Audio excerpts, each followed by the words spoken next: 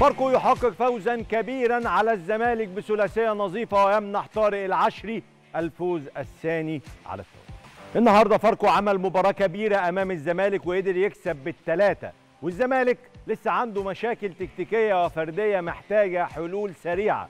الزمالك مش لازم يرمي المنديل في المنافسة على الدوري ومحتاج يلم نفسه بسرعة علشان اللي جاي أهم لينا كلنا مواجهة مهمة أمام شباب بلوزداد يوم الجمعة الفوز فيها بيعيد للزمالك الهدوء مرة أخرى.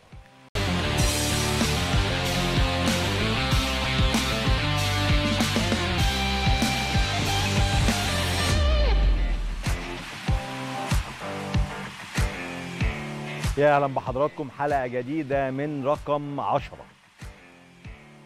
بصوا بقى أنا النهارده جاي أقول كلمتين في القلب. وفضفضه قبل ما نخش على ماتش الزمالك وفاركو وتفاصيله والحكايات والروايات.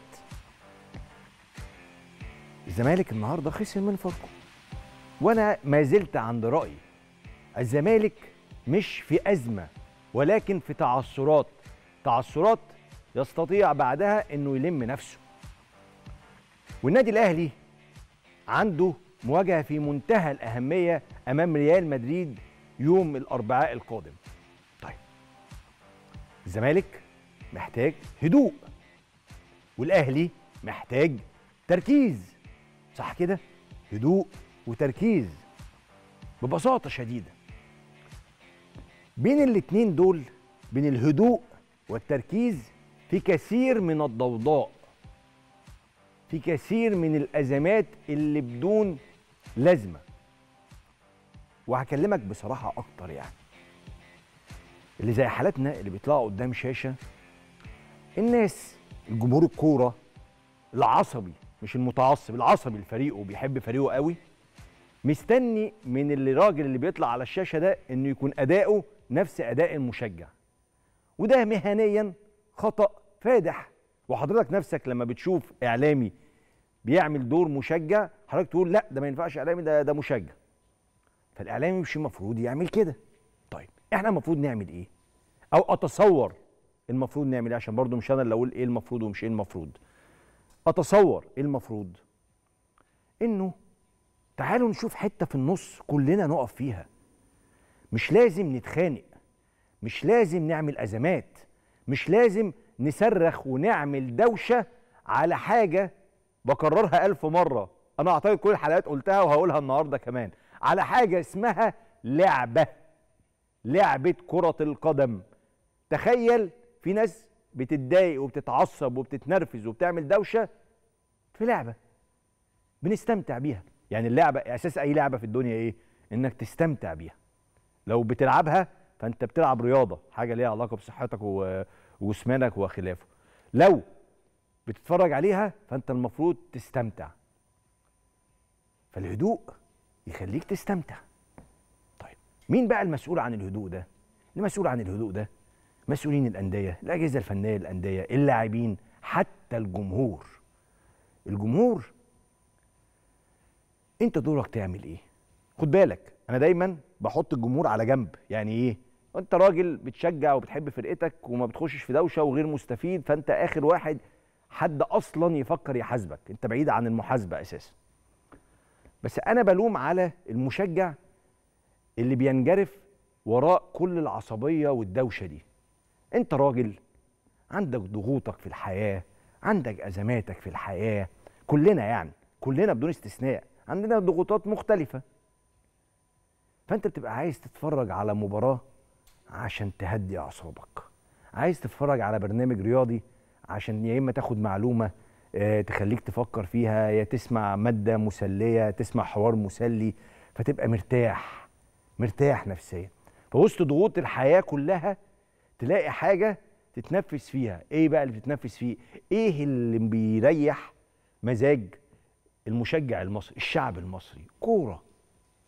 اديله بقى كورة واديله مكسب واديله محتوى محترم يبقى مرتاح نفسيا وسليم. ده دورنا يا جماعة. أحيانا الناس تيجي وتقابلنا هو على ال social media هو أنت ليه ما قلتش على فلان كذا؟ ويقول لك اشتمه عايزك تشتمه وانت ليه ما تحددش واتخانقت مع فلان؟ يا فندم هو أنا لما هنطلع كلنا نتخانق أنت هتبقى مبسوط؟ أنت هتقول لي إيه؟ آه ما أنت كده هترضي آه الغضب اللي أنا فيه. لا خالص بالعكس مش تبقى مبسوط هتسخن أكتر وهتتعصب أكتر. طب إحنا شغلانتنا إن إحنا نهدي الدنيا. آه نهدي الدنيا. دي ما اسمهاش اللي هو إيه؟ آه يعني أنت مش عايز تقول فلان باسمه وفلان باسمه وده اللي عمل وده اللي ما عملش؟ ما هي ما هو لما هقول فلان باسمه وده فلان باسمه هنخش خناقة كلنا بقى. يلا تعالى أنا هتخانق وأنت تتخانق واللي جنبي بيتخانق وكلنا بنتخانق. في الآخر هتطلع أنت الخسران الراجل اللي عايز يستمتع ويتسلى ويرفع عن نفسه الضغوطات. نفرح جدا نفرح جدا للنادي الأهلي هو عنده مواجهة تاريخية أمام ريال مدريد يوم الأربعاء. نفرح له جميعا كل الجماهير المصرية. فريق مصري يواجه أعظم فريق في العالم في بطولة رسمية.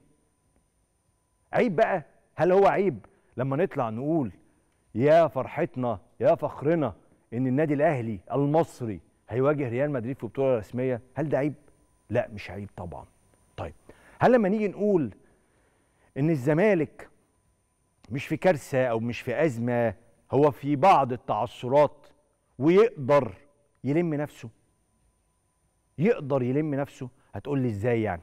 يعني هو الزمالك لما بيخسر تقول لي يلم نفسه لما الأهلي بيخسر تقول لي أصل مين غلط ومين مش عارف إيه؟ لا في الناحيتين بنقول كده. وبنقول بنقول كده على الإسماعيلي وعلى الاتحاد وعلى فاركو وعلى فيوتشر وعلى بير.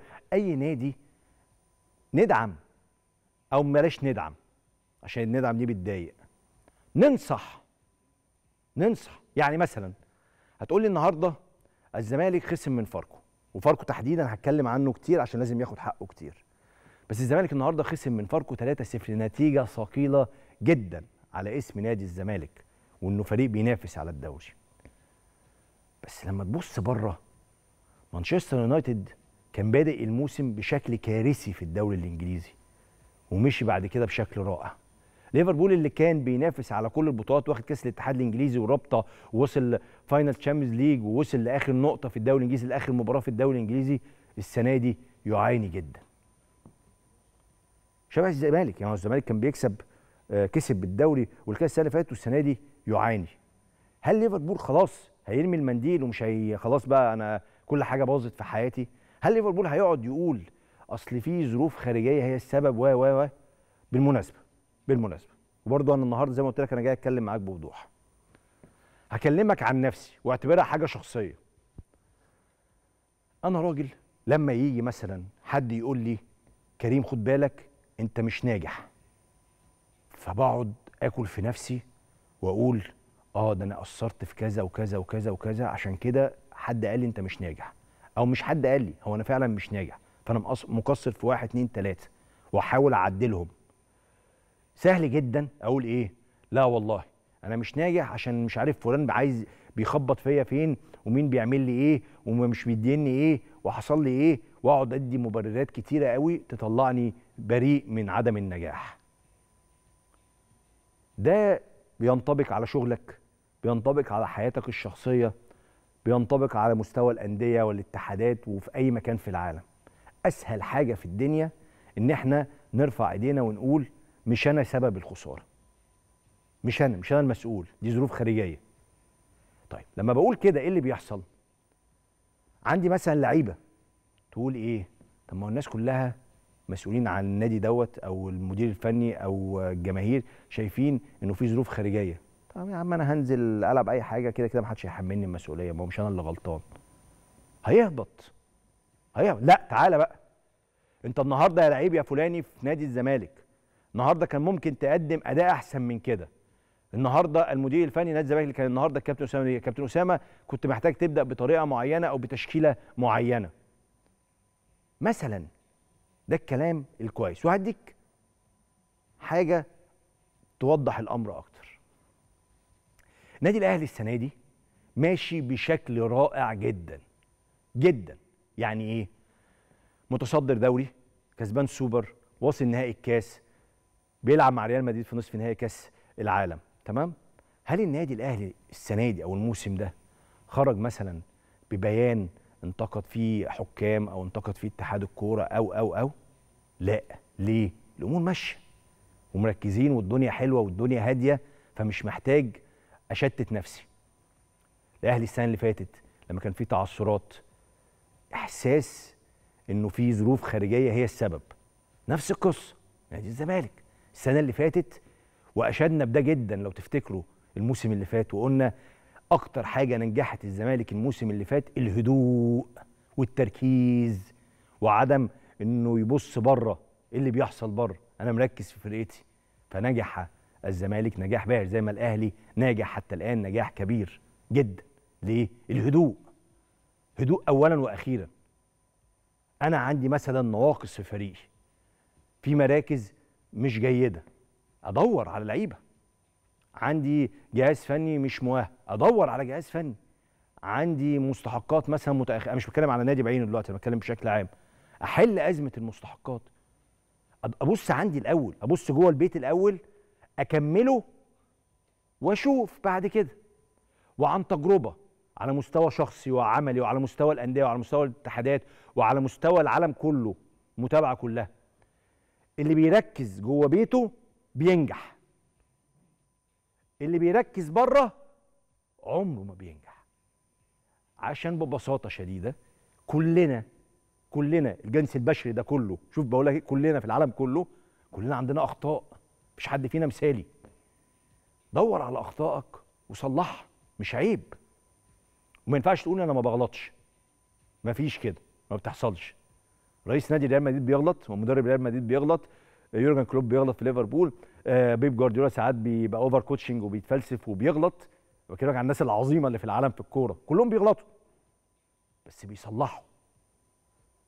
وبالمناسبة نفس الأسماء اللي أنا قلتها دي اللي هو بيب جوارديولا ويورجن كلوب وجوزيه مورينيو ورئيس نادي ريال مدريد ورئيس ليفربول. كل الناس دي ساعات بيقولوا التحكيم ظلمنا. ساعات بيقولوا التحكيم هو السبب. بس ما بيوقفوش عند دي كتير. بسرعة يقول إيه؟ أنا عندي أخطاء في الفريق. أنا عندي مشكلة في التشكيلة. أنا عندي مشكلة في الغيابات اللي عندي. يبص عنده إيه؟ ما يفضلش يبص بره. عشان لما هتبص بره وتضيع وقت بره مش هتلحق تلم نفسك جوه. فالموضوع يكمل معاك. فلو ليا النصيحة لو ليا النصيحة لنادي الزمالك الزمالك محتاج هدوء بس. أنا شايف إنه لحد دلوقتي رغم إنه في لعيبة مهمة مشيت من نادي الزمالك زي إمام عاشور في آخر حاجة بس لسه الزمالك عنده تشكيلة محترمة. لسه الزمالك عنده دكة محترمة. الزمالك بتشكيلة أقل من العدد اللي موجود ده الموسم اللي فات عمل أداء رائع جدا في ظروف صعبة جدا فيها إيقاف قيد دولي. مش القصة بتاعت الاتحاد والثلاث لعيبة والكلام ده كله. أكتر من كده بكتير. الفرق بس كان إيه؟ الزمالك كان مركز جدا الموسم الماضي. الدنيا بتقلب حواليه ماليش دعوة. أنا مركز في فرقتي وهنكسب. هو أنا فاكر مسؤولين الزمالك كانوا بيطلعوا يقولوا كده. يقولوا إحنا مش مركزين غير مع فريقنا وإن إحنا نكسب الدوري ونكسب الكاس. كسبوا الدوري وكسبوا الكاس. نفس الأمر. السنة دي أهو بيعملوا الأهلي. إحنا مش مركزين غير في إن إحنا نرجع ناخد الدوري اللي خسرناه موسمين ورا بعض. نوصل نهائي كاس ناخد الكاس كسبنا السوبر تركيز. لما كل واحد بقى زي بيقولوا إيه يركز في كتابه في ورقته هنشوف حالة حلوة هنشوف كرة ممتعة هنشوف رياضة حقيقية هنشوف لعبة مسلية هنشوف جماهير هادئة. عشان إحنا كل حاجة في الرياضه دلوقتي أو في الكورة بقت extreme هو يجي يقول لك إيه الحق كريم النهارده عمال يقول كلام في العام كده ومش عايز يشتم في فلان. ليه يا عم اشتم؟ وليه ازعق؟ وليه اتخانق؟ هت... هتستفيد إيه؟ أنا بضرك كده. ممكن النهارده تقول إيه؟ آه ده كريم عمل لقطة حلوة قوي وعمل, وعمل قصف جبهة عظيم ورد على فلان واداله مش عارف إيه وعمل إيه. انت استفدت إيه؟ انت استفدت إيه؟ ولا حاجة. انت بالعكس انت هتتوتر أكتر وهتعصب أكتر. نراجع نفسنا نستمتع بالكورة نستمتع باللعبة. حب فرقتك قوي حبها قوي حبها قوي. محدش قال لك حاجة. وافضل حبها. أضيف لك حاجة كمان. وهزر. أصل الكورة والرياضة في العالم كله إيه؟ التنافس ده فيه إيه؟ زمان وإحنا صغيرين أنا فاكر والله. لما كان الأهلي يلعب الزمالك والزمالك يلعب الأهلي. كانوا يعملوا ورق كده ما كانش فيه بقى انترنت ولا الكلام ده كله. ورق كده مطبوع والنادي الأهلي مش عارف يعمل إيه في الزمالك والزمالك يعمل إيه في الأهلي والناس تصور الورق دوت ويقعدوا يوزعوه لبعض. مفيش بقى بوستات على الفيسبوك ولا الكلام ده كله. والناس تقعد مع بعض على القهوة ولا في الشغل يقعدوا يهزروا ويضحكوا يضحكوا. يقول لك ده أنا النهارده رايح الشغل خسرت رهان ده أنا هعزم المكتب كله على الفطار ده أنا مش عارف إيه. متعة. حتى وأنت خسران انت رايح مستمتع. النهارده هيحفلوا عليك في حفلة عليك انت النهارده. بكرة في حفلة عليك وهكذا. ونستمتع. مش بقول لك انه لا لا بص انت أهلاوي فاوعى تجيب سيرة الزمالك على لسانك. وانت زملكاوي اوعى تجيب سيره يا جماعة لا ما هزار ما هو مشجع ريال مدريد بيقعد يهزر على مشجع برشلونة ومشجع مانشستر يونايتد بيقعد يهزر على مشجع مانشستر سيتي. ما هو ده التنافس وده اللعب يعني ده العادي. بس دون إساءات دون عصبية دون مبالغات ونرجع ناس طبيعيين بنستمتع وبس. فاكر وإحنا صغيرين برضو؟ شيء بالشيء يذكر يعني. كان يجوا لنا الناس يقول لك تلاقوا تلاقوا الصحاب الصحاب مجموعة صحاب مع بعض رايحين ماتش الأهلي والزمالك. المجموعة الصحاب دول بقى فيهم أهلاوية وفيهم زملكاوية.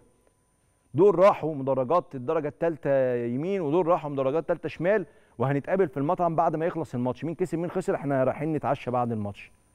والدنيا بسيطة. اللي بيخسر بيزعل واللي بيكسب بيفرح. طبيعي. بس ما فيش افوره إحنا بقينا مقفورين قوي. قوي. مبالغات. والمشكلة إن أنت طول الوقت عايز يعني كلنا نتجر للمبالغات مش أنت المشجع يعني. أنا بتكلم على اللي بيحاول يعمل تعصب أو يعمل أزمة. إنه يلا كلنا يا جماعة نتخانق. لا مش هنتخانق. أنا شخصيا أنا واخد عادة على نفسي. طول ما أنا شغال في الكورة وفي الرياضة يبقى أنا مش عاقل لو دخلت خناقة. مش عاقل. اسمها رياضة اسمها لعبة. فخناقة إيه اللي في الرياضة واللعبة دي يا جماعة؟ ما ينفعش. فاركو بقى. النهارده فاركو عمل مباراة محترمة قدام نادي الزمالك. فاركو عمل محترمة مباراة محترمة قدام نادي الزمالك. ليفربول بالمناسبة لسه من يومين خسران 3-0 برضه. عشان انت ما تلعبش نفسك. وخلونا منطقيين يا جماعة. الكورة دلوقتي كلاعيبة الكورة في مصر المستويات بقت متقاربة. يعني اللعيب اللي في فاركو قريب من اللعيب اللي في الزمالك قريب من اللعيب اللي في الأهلي. نفس الأمر في فيوتشر نفس الأمر في بيراميدز نفس الأمر في غزل المحلة.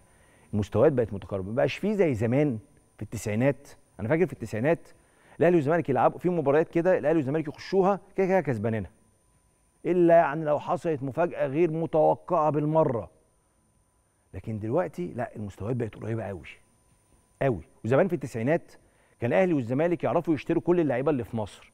دلوقتي لا في أندية بتخش تاخد لعيبة من الأهلي والزمالك. فخلاص يعني مش كل اللعيبة الكبيرة موجودة في الأهلي والزمالك لا في لعيبة كبيرة في فرق تانية في الدوري. ففاركو ياخد حقه.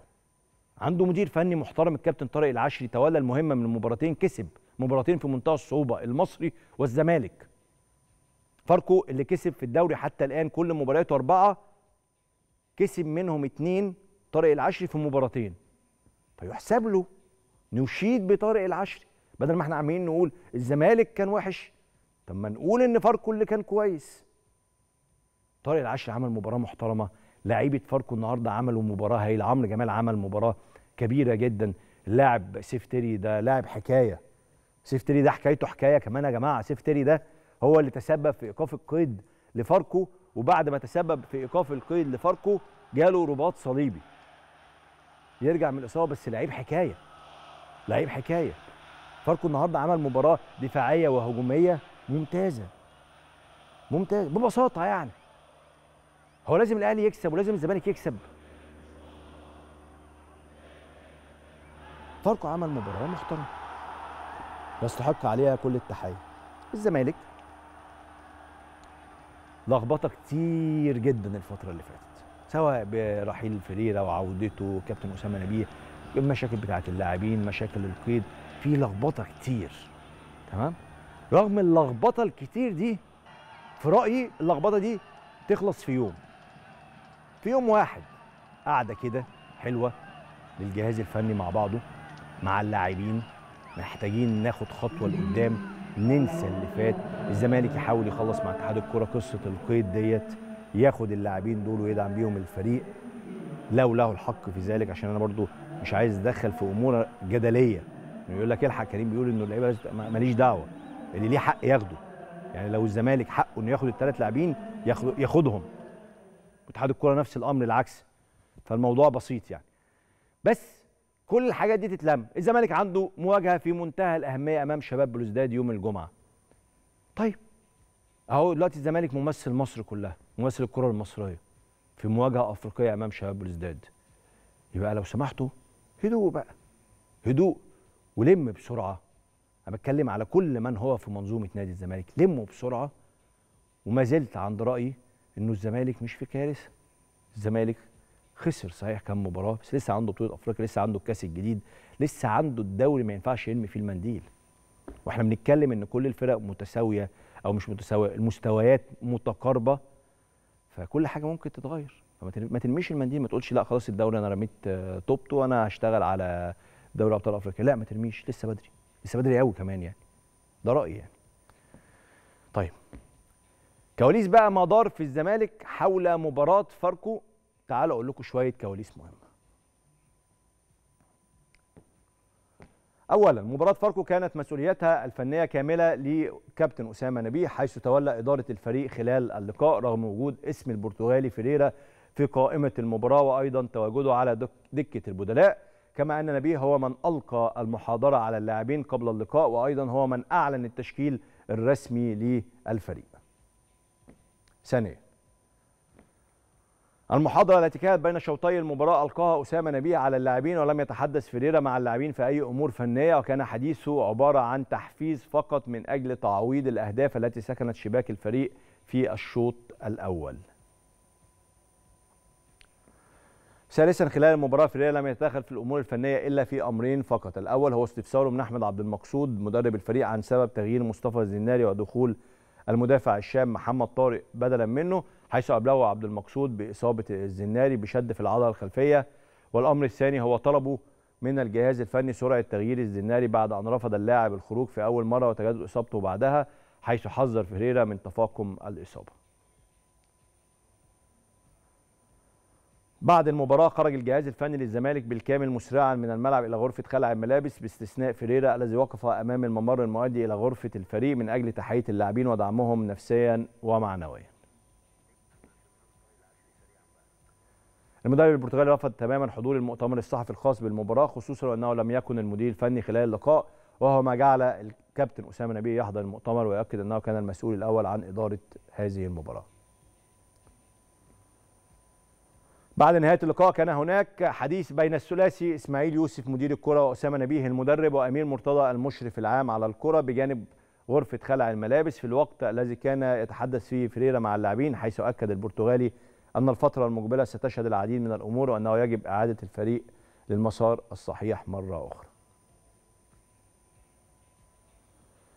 سابعا فيريرا سيبدا دوره مع الفريق من الثلاثاء استعدادا لمباراة شباب بلوزداد الجزائري يوم الجمعة المقبل في الجولة الأولى بدور المجموعات من بطولة دوري أبطال أفريقيا. وفي نفس الوقت يتمسك بوجود مساعدين معه في الفترة المقبلة وهم محلل اداء ومدرب بدني. أجانب. زي ما قلت لكم سهل جدا إن انت تتحدث عن هزيمة الزمالك. بس هو الحق إن إحنا نتحدث عن فوز فاركو اللي عمل مباراة كبيرة على مستوى الجهاز الفني بقيادة الكابتن طارق العشري وعلى مستوى اللاعبين. مباراة كبيرة جدا. دفاعيا فاركو عمل مباراة محترمة جدا. هجوميا عمل مباراة محترمة جدا. فإشادة. هو في فريق بيكسب وفي فريق بيخسر. عادة عادة يعني. الناس تتحدث عن خسارة الزمالك أو خسارة الأهلي بس بنسبة أقل يتحدثون عن انتصارات الفرق اللي بتلعبهم رغم إنه المفروض العكس. فبصراحة فاركو محتاج ياخد حقه جدا مباراة ثانية على التوالي انتصار مع الكابتن طارق العشري بعد مباراة المصري. مباراة صعبة جدا أمام المصري مباراة صعبة جدا أمام الزمالك. فبالتأكيد لازم نهني الكابتن الكبير كابتن طارق العشري المدير الفني لنادي فاركو على هذه الانتصارات. السريعة جدا. يا كابتن طارق مليون مبروك. شكرا كريم. تحياتي ليك والاسر في البرنامج. يعني النهارده مباراة كبيرة جدا أمام نادي الزمالك على المستوى الدفاعي وعلى المستوى الهجومي. مفيش شك. مباراة كبيرة جدا أمام فريق كبير نادي الزمالك. ومباراة من العيال الثقيل ست نقاط يعني الثلاث نقاط بتوعها بمثابة ست نقاط. خاصة إن هي جاية بعد مباراة نادي المصري. وعلى التوالي فوز تاني على التوالي مهم جدا لفريق فاركو.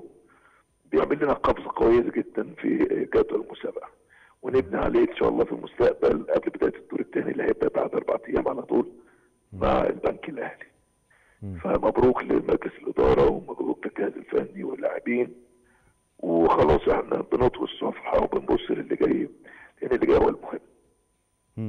كنت داخل المباراة ديت وعارف إنك هتعمل مباراة كبيرة أو نتيجة كبيرة أمام نادي الزمالك في ظل حالة نادي الزمالك في الفترة الأخيرة ولا كنت قلقان من فكرة إنه الزمالك ممكن يكون فاق أو رجع لمستواه تاني بعد الانتصار على فيوتشر؟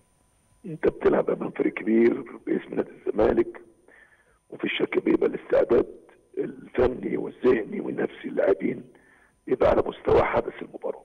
يعني خلينا نقول إحنا رتبنا المباراة من بعد مباراة المصري مباشرة يعني على جميع الاصعده صراحة ورفعنا الحمل بشكل كويس. وبعدين ابتدينا نرتب ونضع الأسلوب المناسب لاعبين المناسبين واللي هيواجه فريق الزمالك. شاهدنا كتير جدا الزمالك وبنينا خطتنا عليها. الحمد لله اللي, تم ترتيبه داخل الأسبوع أو خلال الأسبوع اللي فات ده تم تنفيذه في المباراة. وده الشيء الجيد اللي اسعدني الولاد استجابتهم عالية جدا جدا. خلال 10 أيام تحصد ست نقاط من فريق من فرقتين كبار. مم. أعتقد ده مدلول جيد تبني عليه في المستقبل. صحيح. ويقول برضه إن إحنا المكان اللي فيها نادي فاركو لابد ان إحنا نعمل قفزه كبيره تليق باسم المكان وباسم مجلس الاداره والدعم اللي محطوط التارجت اللي محطوط مم. ان شاء الله باذن الله تعالى نبني على الفوز ده بشكل كويس والولاد كانوا الفترة اللي فاتت محتاجين دعم معنوي بشكل كويس محتاجين ان هم يتنظموا مم. محتاجين ان هم يلعبوا على هدف يلعبوا باستراتيجيه معينه وده يمكن اللي في خلال 10 أيام تحدثنا معاهم ولذلك الاستجابه بتاعتهم عاليه جدا أنا فخور بالتواجد معاهم وعندي طموح كبير جدا جدا جدا معاهم ان إحنا نعمل نقله كبيره جدا لفاركو صحيح النهارده شفنا لعيب مش شفنا لعيب شفنا أجانب في نادي فاركو أجانب رائعين جدا. يا كابتن طارق تحديدا كمان يعني اللاعب سيف تيري النهارده حديث الجماهير المصرية بعد الهدف الرائع اللي جابه. خاصة سيف تيري كان له قصة مع فاركو إنه كان تسبب في إيقاف القيد وبعد كده اصاب بالرباط الصليبي.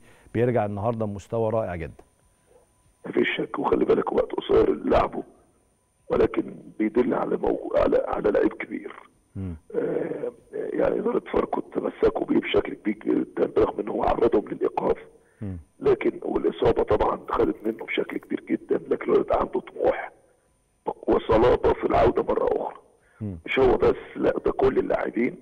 طموح ده لمسته من خلال تواجدي معاهم واللي نقلته بشكل كويس جدا. إن إحنا لابد إن إحنا نلعب على هدف ونحط ون- ونكافح من أجل تحقيق هذا الهدف. وده اللي بيطلبه مجلس الإدارة بصراحة. دعم يعني مع يعني غير محدود الفريق قيادة طبعا مستر عز وجميع أعضاء مجلس الإدارة والتفاف جيد جدا جدا من الجهاز الفني واللاعبين حول تحقيق الهدف ده.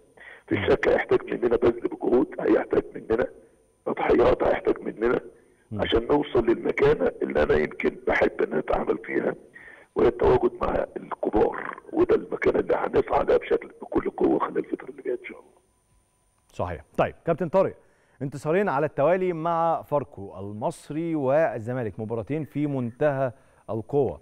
تهدي شوية من آم، أمورك النفسية بعد ما حدث في سموحة في الفترة الأخيرة؟ والله يا كريم خلينا نقول للناس آه، صفحه سموحه ديت يعني انطوت خلاص بالنسبة لي وأصبحت في الماضي.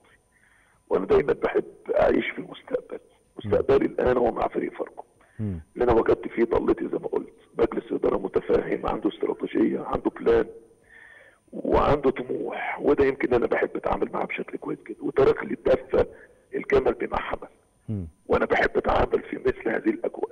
إن شاء الله بإذن الله تعالى يبقى ينعكس ده على الفريق بشكل كويس على صعيد النتائج وعلى صعيد الأداء يعني اللي يخلي الفرقة بتنتج هذا الإنتاج في وقت قصير جدا. يدل على مجموعة لاعبين جيدين آه، مع الوقت هيتحسنوا ويتطوروا بشكل كبير جدا جدا جدا على جميع الاصعده الفنيه وكمان على صعيد النتائج باذن الله تعالى صحيح كابتن الكبير كابتن طارق العشري المدير الفني لفريق فاركو. أنا بشكرك شكرا جزيلا وبهنيك مرة أخرى الانتصار الكبير على نادي الزمالك اليوم. مدرب محترم بصراحة يعني. كابتن طارق العشري مدرب محترم مع حرس الحدود عمل إنجازات تاريخية مع طلائع الجيش الموسم اللي فات ينهي معاهم في المربع الذهبي. حصل ما حصل مع سموحة يعود مرة أخرى للواجهة. واجهه المدربين في مصر مع فاركو يحقق انتصارين في منتهى الأهمية على المصري والزمالك في أول مباراتين ليه مع الفريق. أحيانا يعني بتاخد العدالة من عند الله. مش أحيانا عفوا على طول العدالة بتيجي من عند الله في الوقت المناسب. بصراحة يعني حقيقه الحق. كابتن العشري أنا شفته كان بيحاول يعمل فريق محترم لسموحة و بس يعني خلاص خلافات مع إدارة النادي خرج من نادي سموحة بشكل أو بآخر وعدالة الله كالعادة يعني. هي بتبقى الفيصل في أمور في كل الأمور في كل الأمور. طيب نروح بقى للنادي الأهلي. يقول لك يا عم أنتوا مبسوطين قوي وبتبالغوا في فكرة إنه الأهلي هيلاعب ريال مدريد. يا جدع يا جدع الأهلي هيلاعب ريال مدريد. الأهلي هيلاعب ريال مدريد في مواجهة رسمية في كأس العالم للأندية. الأهلي دايما نقول كده الأهلي المصري يواجه أعظم فريق في التاريخ ريال مدريد. دي مش حاجة يعني المفروض نفرح لها. وأنا قلت كده من ثلاث أيام. قلت لحد يوم الأربع بعد ما الأهلي كسب سياتل. قلت لحد يوم الأربع هنقعد نحتفل بالفكرة. فكرة إنه فريق مصري هيواجه ريال مدريد في منافسة رسمية. حلوة حلوة وتفرحنا كلنا. تفرحنا جميعا. بالمناسبة. حلوة دي. بالمناسبة. حلوة الحالة المعنوية اللي عند جماهير النادي الأهلي اللي هي إيه؟ آه نكسب ريال مدريد. إيه المشكلة؟ ما نكسب. وفي الأهلي نفسه كسب في مباراه وديه قبل كده ريال مدريد في 2001 شفنا فرق ومنتخبات بتعمل مفاجآت كبيرة. آه متفاهمين فرق الإمكانيات بس ليه لأ؟ الأهلي ما يعملهاش. أنا من الناس دي من الناس المتفائلة إن شاء الله إن شاء الله. بس بس. لعيبة النادي الأهلي لازم يبقى عندها الطموح لعيبة النادي الأهلي لازم تلعب بإصرار كبير. الجهاز الفني للنادي الأهلي لازم يحط التكتيك المناسب لمنافس زي ريال مدريد. بس فكرة بقى في بعض الناس بقى دول الأقل اللي هو إيه؟ لا لا. حالة الأهلي دلوقتي أفضل من حالة ريال مدريد. ريال مدريد عنده إصابات كتيرة وخسران مباراة أخيرة أمام ريال مايوركا. آه، أصل وسط النادي الأهلي دلوقتي آه، جاهز عن وسط ملعب نادي ريال مدريد. لا ده كلام هزار. ده كلام هزار. يعني لا قصة حالة في ريال مدريد ولا قصة لعيبة مصابة وناشئين ريال مدريد أصلا جامدين جدا. فكده انت لسه أصلا ريال مدريد ده فيه توني كروس ولوكا مودريتش وفينيسيوس واللعيبه الجاهزه يعني وديفيد ألابا وميليتاو واحتمال لا ميليتاو مش هيلحق بتتكلم في روديجر هيلعب فانت بتتكلم أصلا الاسماء اللي موجوده سيبك من اللي غايب اسماء يعني خطيره خطيره منهم واحد أفضل لاعب كان أفضل لاعب في العالم يعني لوكا مودريتش فبالراحه إن شاء الله الأهلي يكسب. أنت بتتكلم في قيمة تسويقية 850 مليون يورو لنادي ريال مدريد.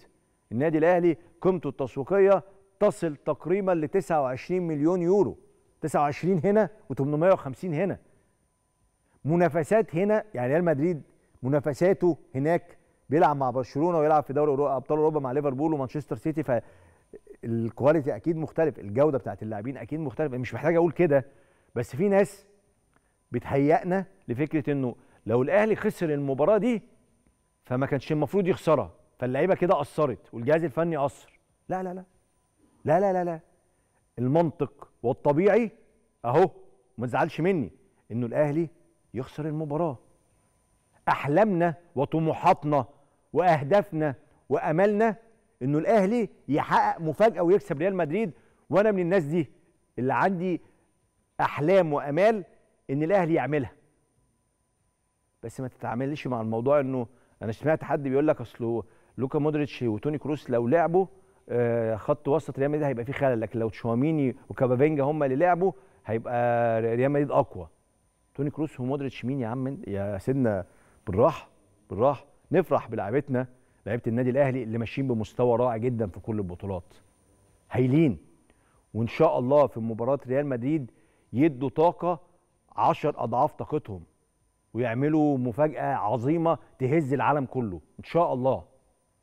أنا بس أنا بقول الكلمتين دول ليه؟ أخشى ما اخشاه بعد المباراة. لا قدر الله الأهلي يخسر. إن شاء الله ما يحصلش. فتلاقي ناس طالعة تقول لك إيه؟ لا لعيبة الأهلي النهارده كانوا وحشين. آه، كولر طلع لما لعب بقى مباراة كبيرة قدام ريال مدريد كولر اتكشف. أنا فاكر الكلمتين دول. وساعتها برضو طلعت وانتقدت الفكرة دي. لما الأهلي خسر من بايرن ميونخ 2-0 السنة اللي قبل اللي فاتت فطلع الناس قال لك إيه؟ بس الأهلي كان المفروض يلعب مباراة أحسن من كده. الأهلي كان محتاج ياخد الاستحواذ من بايرن ميونخ. وقتها كان بايرن ميونخ أفضل فريق بيستحوذ على الكرة في العالم. قدام أي أكبر فرق العالم. يا جماعة الأهلي كسب آه، خسر قدام بايرن ميونخ 2-0 آه، طبيعي. وممكن نقول ده أقل من الطبيعي كمان. طبيعي. فأنا بقول كده ليه؟ عشان لا قدر الله الأهلي خسر ما حدش بس يفضل يلوم في اللعيبه اللي عمل اللي عملته لعيبة النادي الأهلي والجهاز الفني النادي الأهلي للوصول لهذه النقطة هو ده الإنجاز. نكسب ريال مدريد نقيم الأفراح والليالي الملاح لشهور قدام. ولشهور قدام. نقعد بقى نحتفل بالأهلي. ما أصل الأهلي ده لما يكسب ريال مدريد إن شاء الله العالم كله هيتكلم عن الأهلي المصري. العالم كله. اللي كسب ريال مدريد أعظم فريق في العالم. فهيبقى مش رافع راسنا للسماء لسابع سما. إن شاء الله ده يحصل. بس بهدوء بهدوء برضه. نفسي مش عارف أنا بقيت أقول بهدوء دي كتير قوي نفسي الناس كلنا نبقى هاديين إن شاء الله يعني. طيب. ماذا يحدث بقى في النادي الأهلي؟ كواليس الساعات الأخيرة قبل مواجهة ريال مدريد؟ تعالوا نشوف. خلال الساعات الماضية عقد مارسيل كولر المدير الفني للنادي الأهلي أكثر من محاضرة مع اللاعبين وعرض عليهم أكثر من مباراة لفريق ريال مدريد من أجل شرح أسلوب لعب الفريق الملكي والطريقة التي يعتمد عليها ورسم سيناريو مواجهته في لقاء الأربعاء. خد بالك بيفرجوا على أكتر من ماتش مش ماتش واحد. مارسيل كولر حرص على الحديث مع محمد هاني الظهير الايمن بشكل خاص وعرض عليه بعض اللقطات الخاصة بالبرازيلي فينيزيوس جونيور لاعب الريال وهي لقطات تتعلق بتحركاته وطريقة استلامه للكرة ثم الركض بها بعد المراوغه وقام بمنح هاني العديد من التعليمات لكيفية التعامل مع اللاعب البرازيلي والحد من خطورته. وأكيد يعني محمد هاني محمد هاني عارف فينيسيوس جونيور كويس وعارف هو بيلعب إزاي يعني كلنا عارفين يعني. محمد هاني عنده مهمة شاقة جدا شاقة جدا بس عملها قبل كده مع كومان كومان وديفيس في بايرن ميونخ. وعرف يشتغل معاهم كويس. ثالثا ينوي كولر الاعتماد على نفس تشكيل الفريق في مباراة سياتل الأمريكي مع إجراء بعض التعديلات على الثلاثي الهجومي حيث يفكر في اللعب بطاهر محمد طاهر وحسين الشحات وبيرسي تاو. في الثلاثه دول هم الثلاثه اللي هيكونوا الأمثل لهذه المواجهه ده رأيي طبعا مارسيل كولر هيكون رأيه أحسن أكيد يعني اللي يختاره. وإن كان لم يحسم أمره في هذه النقطة حيث يفاضل ما بين الاعتماد على قفشة أو الشحات من بداية اللقاء ولكنه قرر الدفع بالثنائي تاو وطاهر أساسيان خصوصا وأنه منح طاهر تعليمات دفاعية بجانب دوره الهجومي طاهر هيبقى مهم جدا في المواجهة دي. ورايي بيرسي تاو برضه. خلال حديث مارسيل كولر مع اللاعبين أكد لهم على النقطتين الأولى هو عدم التركيز مع الإصابات التي ضربت صفوف الريال مؤخرا. برافو. حيث شدد بأن أي لاعب يرتدي قميص ريال مدريد هو من الطراز الرفيع ولا بد من احترام الفريق بأي ش... بأي تشكيل. والأمر الثاني هو أن فكرة التسجيل في شباك الريال صعبة فقط وليست مستحيلة بل ممكنة الحدوث إذا ما ركز اللاعبين بشكل جيد. وأنا شايف كده برضو نقدر نوصل لمرمى الريال بإذن الله يعني. خامسا حرص مارسيل كولر على الحديث مع بيرسي تاو بشكل خاص في محاولة منه لاستغلال سرعاته خلف دفاعات الريال حيث تحدث معه في أمور فنية تتعلق بكيفية تسلم الكرة والمراوغة السريعة والانطلاق داخل منطقة جزاء الفريق الملكي. إن شاء الله بيرس تاو يعمل مباراة كبيرة. سادسا محمود عبد المنعم كهربا اكتفى بأداء تدريبات منفردة على هامش المران الجماعي اليوم الاثنين بسبب معاناته من إجهاد عضلي حيث قام الدكتور أحمد أبو عبلة طبيب الفريق إنه فضل إراحة اللاعب من المران الجماعي وتنفيذ برنامج تدريبي مع أخصائي التأهيل بالفريق على أن يخضع اللاعب لفحص طبي قبل مران الغد لتحديد موقفه من المشاركة في مباراة الريال. كهربا كده كده هيبقى موجود مش شرط في التشكيل الأساسي بس هو مواجهة زي مواجهة ريال مدريد ديت أي لاعب يحب يلعبها ولو برجل واحدة ولو برجل واحدة. طيب. أحمد قندوسي لاعب النادي الأهلي المنضم حديثا للفريق انضم لبعثة الفريق في المغرب أو هينضم غدا الثلاثاء من أجل مؤازرة الفريق في مشاركته أو مباراته المرتقبة أمام ريال مدريد يوم الأربعاء المقبل. ده بعد ما أنهى قندوسي مشاركته مع المنتخب الجزائري في كأس أمم أفريقيا للمحليين واللي حقق لقبها منتخب الج- السنغال على حساب المنتخب الجزائري بركلات الترجيح تخصص السنغال ركلات الترجيح تخصص مضايقنا في كل حتة. ماشي. شوف بقى الجمال شوف الحاجة اللي تشرف اللي نفرح بيها كلنا. برضو أنا بأكد دايما على كلمة كلنا دي كلنا. لما يبقى ممثل مصري بيشرف الجميع فكلنا نفرح بيه يعني. الصحافة الأسبانية النهارده اتكلمت عن مواجهة ريال مدريد والنادي الأهلي. نبدأ بصحيفه موندو ديبورتيفو اللي قالت إن خصم ريال مدريد القادم هو الأهلي المصري النادي الأكثر نجاحا على مستوى العالم الأهلي المصري فريق حصل على أكثر من 140 لقب خلال 116 عام. وده يجعل منه النادي الأكثر نجاحا في تاريخ كرة القدم. وقال الصحيفة موندو ديبورتيفو قالت إنه على قميص النادي الأهلي في أربع نجوم. أكثر من 40 بطولة محلية فاز بها النادي الأهلي و10 نجوم أخرى تقع في الجزء السفلي للشعار. دلالة على فوزه ببطولات دوري أبطال أفريقيا العشر وقال إن هم في مصر يتنفسون الأهلي في كل وقت. السيارات تحمل ملصقا له المقاهي فيها آه النادي الأهلي موجود في كل مكان فيه والمشجعون بيشعروا دايما بالإهانة إذا قلت لهم إنه فريق غير قادر على هزيمة ريال مدريد. أما صحيفة ماركا الأسبانية واحدة من أهم صحف العالم فقالت في الرباط هناك 11 مقاتلا مصريا من النادي الأعظم في أفريقيا ينتظرون ريال مدريد على على احر من الجر إن شاء الله النادي الأهلي بعد المباراة يكون حديث كل صحافة العالم والصحافة الأسبانية بإذن الله النادي الأهلي يحقق الفوز على ريال مدريد. مؤكد مش مستحيل بس برضه هي مباراة مش سهلة. إن شاء الله إن شاء الله لعيبة النادي الأهلي تبقى على قد المسؤولية محتاجين أضعاف أضعاف قدراتهم عشان يقدروا يكسبوا ريال مدريد. مش القدرات بس بتاعتهم المميزة لا تلعب مع فريق اسمه ريال مدريد. بعد الفاصل هيشرفني وينورني الكابتن الكبير كابتن محمد عبد الله نجم النادي الأهلي والزمالك والإسماعيلي الأسبق. خليكم معانا. يا أهلا بحضراتكم مرة أخرى شرفني وينورني كالعادة واحد من أهم نجوم الكرة المصرية الكابتن الكبير كابتن محمد عبد الله نجم النادي الأهلي والزمالك والإسماعيلي الأسبق. كابتن محمد مشرف ومنور. حبيبي يا كابتن كريم ربنا يخليك يا رب. ومساء الفل عليك ودايما من نجاح لنجاح ودايما مع بعض متألقين. حبيبي حبيبي تشرف قبل أي حاجة طبعا بيننا يا إخواتنا دولة سوريا ودولة تركيا على على الزلزال وربنا ربنا يرحم الضحايا يا رب ويطمن أهالي الناس كلها جميعا يا رب ويحفظنا يا رب، جميعا يا رب إن شاء الله يا رب. طيب كابتن محمد ماتش النهارده فاركو والزمالك. عادة في الأمور اللي زي ديت يقول لك هو الزمالك خسر ليه؟ بس عايز أسألك الأول هو فاركو كسب ليه؟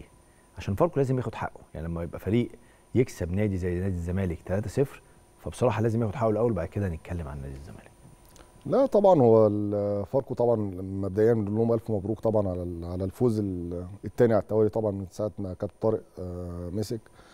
آه، ودايما زي ما بقول لك تغييرات الأجهزة الفنية بتيجي ساعات بال- بالإيجاب وساعات بالسلب. صح. مع نادي فاركو لا جت بالإيجاب طبعا تاني مباراة وبيكسب فرقتين فرقتين كبار جدا كان النادي المصري طبعا نادي الزمالك النهارده. طبعا بنبارك له. أكيد طبعا الراجل جه حط الرتوش يعني هو معهوش العصا السحريه انه يقدر يغير الكلام في يوم وليلة يعني. إنما كده هو اشتغل مع اللعيبة على الفترة اللي فاتت وكابتن طارق المعتاد بتاعه أنت عارف إن هو فعلا بيعرف يقفل الجيم بشكل كويس وبيلعب على الهجمة المرتدة. صح. النهارده طبعا يعني الظروف كل الظروف خدمته النهارده. في بداية الجيم يعني أنت لسه بتقول بسم الله وفجأة تلاقيك كسبان 1-0 مبكر، صح. فدي سهلت له المأمورية أكتر وصعبت ال- الأمور على نادي الزمالك. في- قبل نهاية الشوط في الدقيقة 30 تلاقيه برضه كورة. التاني. يعني أخطاء آه، غير متوقعة. خطأ من حسام عبد المجيد. الجون التاني برضه يسأل عنه عواد يعني مم. تعامل مع كورة بشكل آه، مش طبيعي. آه، فجأة أنت بت... خلاص بقى الجيم بدأ يتصعب عليك. مع فرقة ومع طريقة لعب أساسا في الوضع الطبيعي وأنت متعادل 0 0 الموضوع مش بيبقى هتعرف توصل صعب. لمرماهم صعب. صح. ما بالك وأنت خسران 2 0 صح. أكيد كل الخطوط هتتفتح التركيز بيقل حاجات كتير بقى أنت بتخرج بره الجيم مع عدم الثقة ال- من الفترات اللي فاتت. طبعا أنت جاي من من خسارة محله في تعادلات. في فرق ال- العدد الابناط بيزيد بينك وبين المنافس التقليدي بتاعك نادي الأهلي. آه، فكل الكلام ده بتبقى ضغوطات على اللعيبة. طيب. فجأة لقيت نفسك خسران ثلاثة الزمالك المشكلة فين؟ يعني أنا قلت في بداية حديثي النهارده إنه مش عايزين يتعامل مع الزمالك إنه في كارثة أو في أزمة. هو خسر بعض النقاط. يستطيع إنه يلم نفسه ويستطيع إنه عنده بطولة أفريقية مهمة تانية إنه يلم نفسه. طيب إيه بالظبط. الأخطاء اللي محتاج الزمالك يلمها الفترة دي؟ لا هي الأخطاء كتير أنت ما أنت عارف لو في خطأ معين أو بعينه أو إحنا شايفين مثلا وعارفين إن ده الخطأ ويقدر يتلم مم. أقول لك ماشي. إنما عشان نتكلم بقى بمنتهى المصداقية لا في أخطاء في كل حاجة مم. أمور إدارية فنية آه، لعيبة آه، فكل الكلام ده بيؤدي اللي أنت شايفه آه. زي أنت أفضل حاجة يعني وأنت بتقدم البرنامج وأنت بتتكلم فعلا نادي الزمالك كان السنة اللي فاتت أو اللي قبلها قافلين ودنهم مش شايفين حاجة صح لا دلوقتي أنت شاغل دماغك الاهلي بيعمل كذا. بدأت تتكلم. رجعنا تاني للعهد ده مش عارف إيه ده إيه ده إيه. ونسيت إن أنت عندك مهمة آه لازم تحققها. أنت بطل دوري صح. سنتين على التوالي. كان عندك القدرة السنة دي إن أنت تقدر تحافظ عليه. مظبوط. إنما دلوقتي عدد الإبناط بيزيد. صح. فجأة لقيت بتحط نفسك في مشاكل. مشاكل فنية مشاكل مع مدير فني. مم. مشاكل بين جهاز فني مع بعض ودي أكبر كارثة. مم. إن مدير فني ما أنا آسف مش عايز اللي جا المساعد بتاعه. فجأة المساعد بي بيرجع تاني هو اللي بيدير الماتش النهارده كابتن أسامة. مم. الراجل طبعا تحس إن مالوش دور. كل الكلام ده بيأثر على اللعيبة. وفي الأول وفي الآخر النادي هو الخسران. مم. وجماهيره هي الخسرانه مظبوط. إنما أنت لازم تحل الأمور دي. ولو ما اتحلتش في أسرع وقت هتلاقي البطولة الأفريقية برضو بتهرب منك. الدوري كده كده خلاص. أنا بقولها لك أهو من النهارده. لا الدوري خلاص. مش بدري قوي يا كابتن محمد. لا مش بدري. مش بدري. لا لا لا مش بدري. آه. النادي الأهلي في أحسن حالاته. مم. في أحسن حالاته فنيا واداريا وكل حاجة حو... يعني تشمل المنظومة ناجحة ماشية في الطريق اللي هو المظبوط زي ما إحنا بنقول. مم. إنما نادي الزمالك إحنا أو هم اللي بيأخروا نفسهم خطوة ورا الثانية فأتمنى طبعا التركيز الفترة اللي جاية. أنت عندك مباراة يوم الجمعة ومباراة هامة في شباب رزداد افتتاحية دوري أبطال أفريقيا. صحيح. فأنت لازم تقفل قصة الدوري دي. مم. وتبدأ تعالج الأخطاء اللي عندك كانت فنيا الناس تبدأ تشتغل وتحط إيديها في إيدين بعض. صح. آه اداريا لازم الناس تبقى واعيه إن فعلا ده بيديروا نادي الزمالك ده كيان كبير. مم. فلو أنت مش واعي للكيان اللي أنت بتديره هتبقى مشكلة. مم. النهارده الناس قاعدة إحنا في حيرة يعني. مم. آه، بتخسر ثلاثة من فاركو. قبل كده بتخسر أسوان تخسر من محلة. مم. عدد كم هزايم. في أقل مثلا من من أربع خمس اسابيع متتالية. فدي دي مصيبة ما كانتش بتحصل في نادي الزمالك. فلا فعندك أخطاء الأخطاء زي ما بقول لك لو خطأ واحد هتقدر تلمه بسرعة مم. إنما أنت عندك أنت بقى عندك مجموعة أخطاء متفرعه مم. وما أنتش عارف أنت عايز تلمها منين ولا منين مم.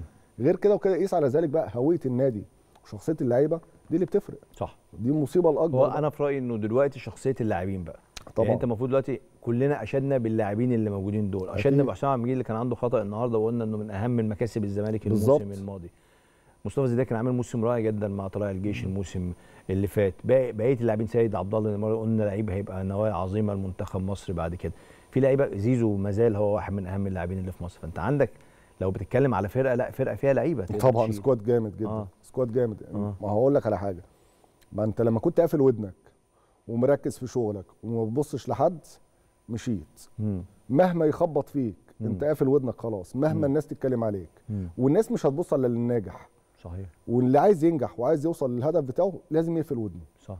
إنما إحنا فتحنا ودنا لكل الناس. مم. فبدأت اللعيبة تبص لبعضها. حتة مثلا عقد زيزو. ما دي بداية المشاكل وبداية الكوارث. ده امام بيتكلم. أدي بيع إمام. مم. ودي برضه خسارة لنادي الزمالك. مع العلم انها في حد ذاتها برضه هو مكسب. مم. إمام فاضل له ست شهور كان ممكن يمشي فري. صح. دي حالة. الحالة الثانية. الحالة الثانية والأهم موضوع اللعيبة اللعيبة فعلا ال- الخسارة بتجيب آه، عدم ثقة بتجيب اهتزاز في مستوى اللعيبة آه، اللعيبة ما بتبقاش في حالتها.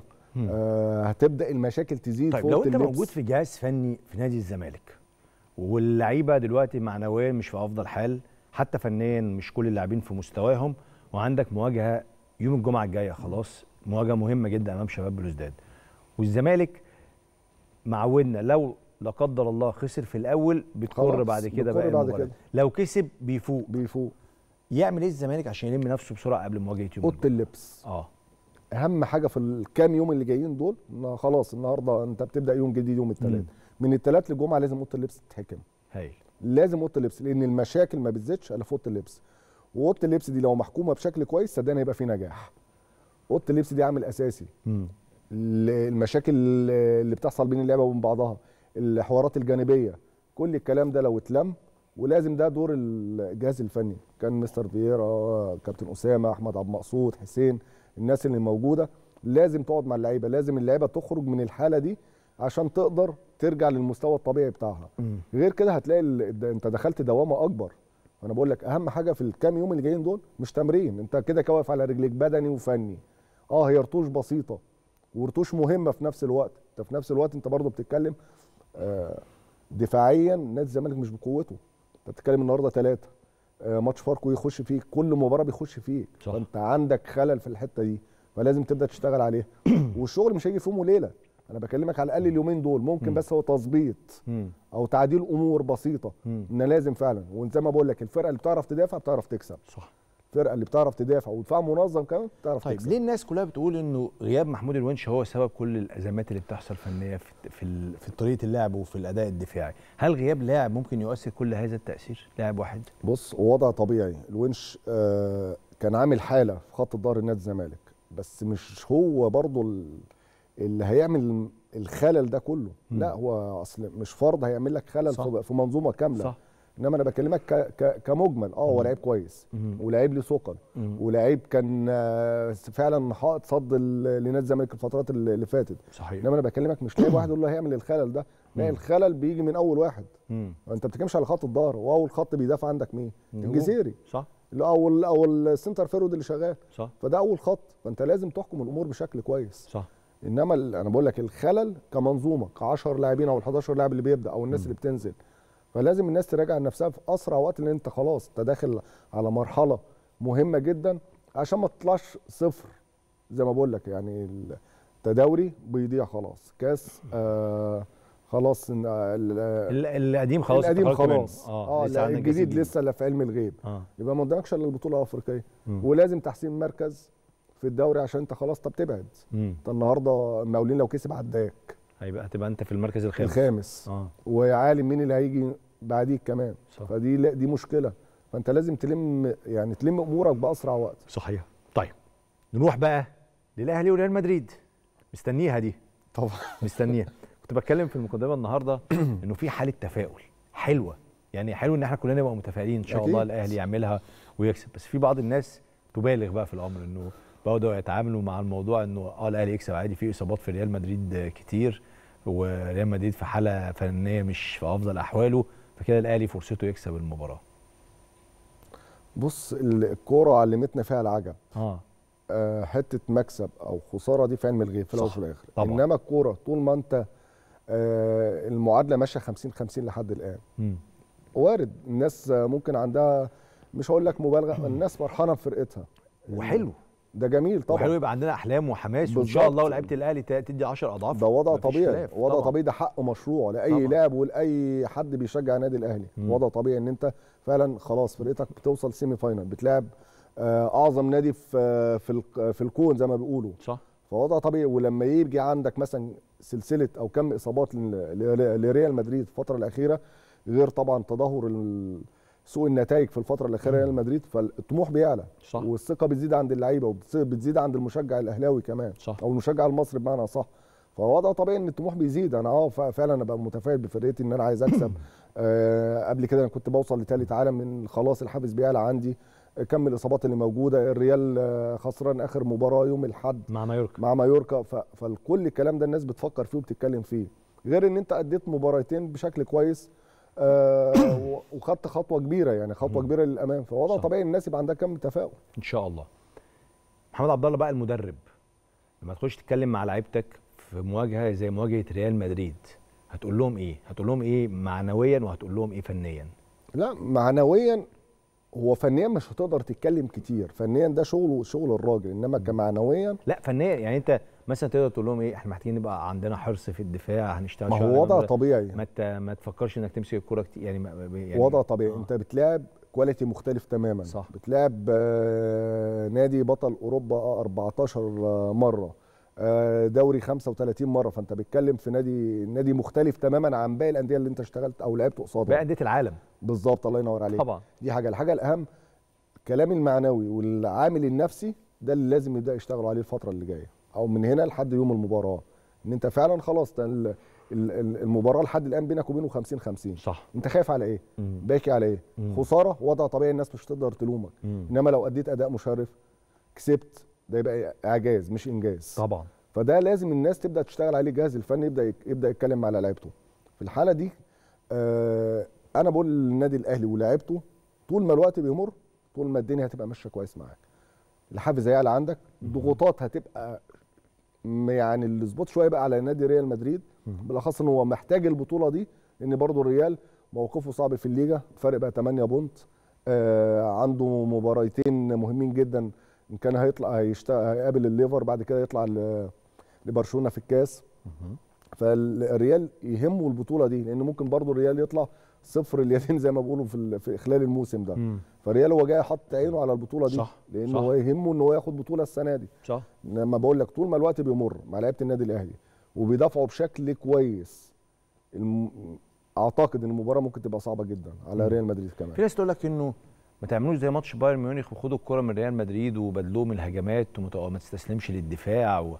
في مواجهة زي كده الواقعية بتقول إيه؟ لا طبعا لا طبعا. لا أنا عشان ابقى راجل واقعي أنا بلاعب ريال مدريد. أيوة. بقول لك بنلعب quality مختلف لعيبة مختلفة خالص. آه. المفروض ده ده فرز أول فرز أول في العالم. صح. مش مش هنقدر نجاريهم. قيمته التسويقية 850 مليون يورو وانت قيمتك التسويقية 29 مليون يورو؟ بالظبط. فرق السماء والأرض. فأنت آه. ما مش هتقدر تجاري الناس دي مهما يكن. هقول لك على حاجة برضو. حتى مثلا لما كنا C مثلا لعبت مثلا في أندية غير أهلي وزمالك وإسماعيلي. آه. لما كنت أروح ألعب نادي الأهلي ونادي الزمالك أقول لا التيشيرت بيخوف. التيشيرت ليه هيبة. آه. فما بالك ده تيشيرت ريال مدريد. صح. وضع طبيعي ده ده إحنا بشر. امم حتى لو أنا بلعب في أحسن نادي في أفريقيا. صحيح. بس وضع طبيعي لما أشوف لعبه ريال مدريد اللي أنا بقعد أتفرج عليهم. صحيح. وضع طبيعي يبقى عندي رهبة. صحيح. فالرهبة دي أتمنى إنها ما تخ... ما تاخدش اللعيبة آه. لحتة الخوف إن أنا ممكن أبقى قلقان من بداية ال game أو إن أنا خايف أو أو ممكن اتلط بدري. لا آه. إنما لا الرهبة دي ممكن أحترمها آه. بشكل كويس لحد ما ال game يمر زي ما أنا عايز. صح. ومستر آه، كوره آه، كولر فعلا بيقدر يجاري الأمور دي بشكل كويس. وأنا بقول لك طول ما الوقت بيمر هيبقى لصالح النادي الأهلي. معايا بقى العالمي اللي جاب جول في ريال مدريد. اللي جاب جول في ريال مدريد بقى. آه، هو- صندي. هو نفس لا صندي لا ده العالمي الكبير بتاعنا بقى. كابتن الكبير كابتن أحمد حسام ميدو المدير آه، الفني طبعاً. للنادي الإسماعيلي. كابتن ميدو مشرف ومنور. حبيبي يا كيمو مساء الفل. مساء الورد عليك منور الدنيا. أنت معاك ضيوف؟ الكابتن محمد عبد الله. طبعا. إزيك يا عبد الله؟ عامل إيه؟ وحش إزيك يا ميدو؟ عامل إيه؟ أخبارك إيه؟ حبيبي يا محمد يا رب تكون بخير. ربنا يكرمك يا حبيبي وإن شاء الله تطلع من الكبوة دي على خير وأنت اداء وقدود إن شاء الله. حبيبي يا محمد تسلم. يا كابتن ميدو أنا امبارح في المقدمة قلت إنه آه، كابتن ميدو يستحق التحية إنه يتعامل مع ظروف في منتهى الصعوبة مع الإسماعيلي في الفترة الحالية. ورغم كده الإسماعيلي يتحسن وسمعت تصريحاتك بعد المباراة أمس وأنت بتقول إن في إيجابيات كتيرة ممكن نبني عليها. فنيا إحنا اتكلمنا هنا عن الإسماعيلي وقلنا إن أمور كتيرة تحسنت. أنت مستلم فريق لا كان اخترت صفقاتك لا آه، الفريق عنده آه، اكتمال بشكل كبير في نواقص كتير في صفقات ما كانتش موفقة. ورغم كده الإسماعيلي شايفينه بدأ يفوق بدأ يفوق.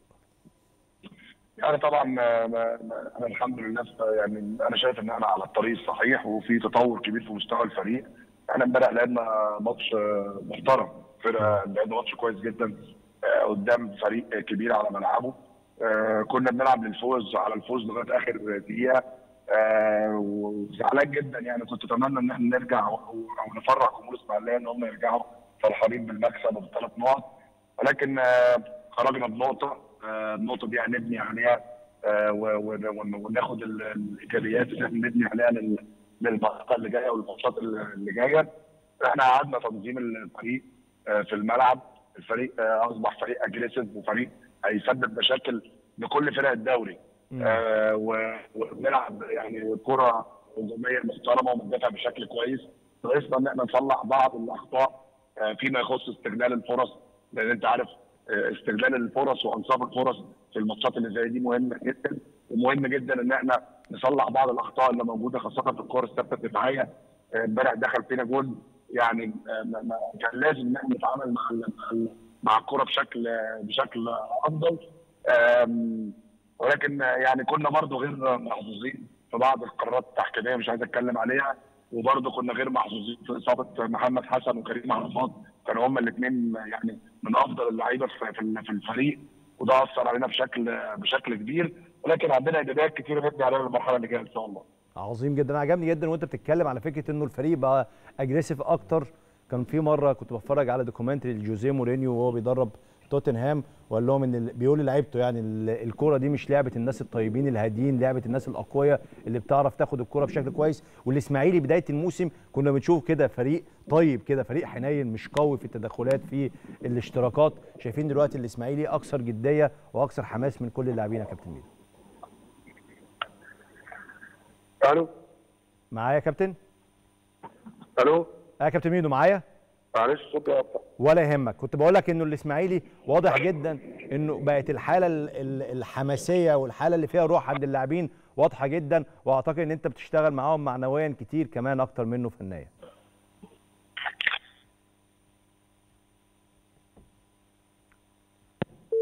طب نرجع للكابتن أحمد حسام ميدو مرة أخرى بعد لحظات. الإسماعيلي فرق تحسن وإن لم تكن النتائج تتحسن يعني بذكر الكابتن ميدو يعني بالظبط هو وضع طبيعي انت زي ما بقول لك يعني مش في يوم وليلة.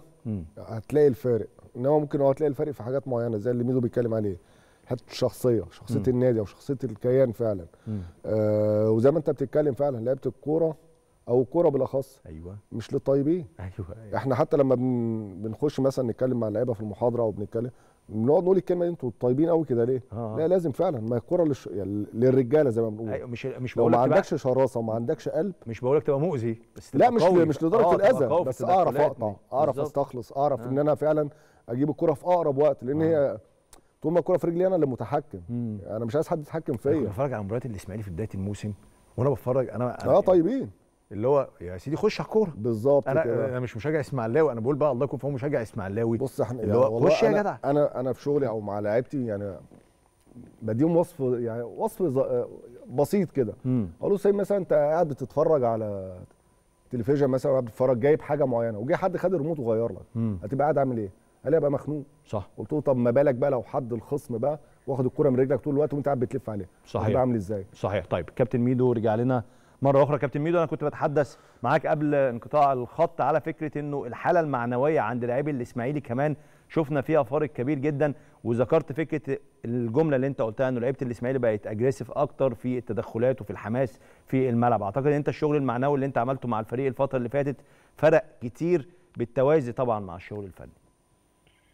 يعني طبعا خلي بالك أصعب حاجة في الكورة إن أنت تطلع من اللعيبة كل حاجة في وقت يكون اللعيبة يعني إيه عندهم بعض المشاكل بره الملعب. دي دي دي, دي نقطة مش سهلة. آه، ولكن اللي ساعدني على كده إن أصل اللعيبة كويس معدن اللعيبة كويس. صحيح. واللعيبة فعلا رجالة. صحيح. وممكن يكونوا كانوا محتاجين حد إن هو ساعات البني آدم بيبقى محتاج حد آه، يعني يشجعه ويحمسه وي- ويحط له هدف قدامه إن هو يشتغل عليه وهو ده هو ده اللي حصل اللي حصل فعلا.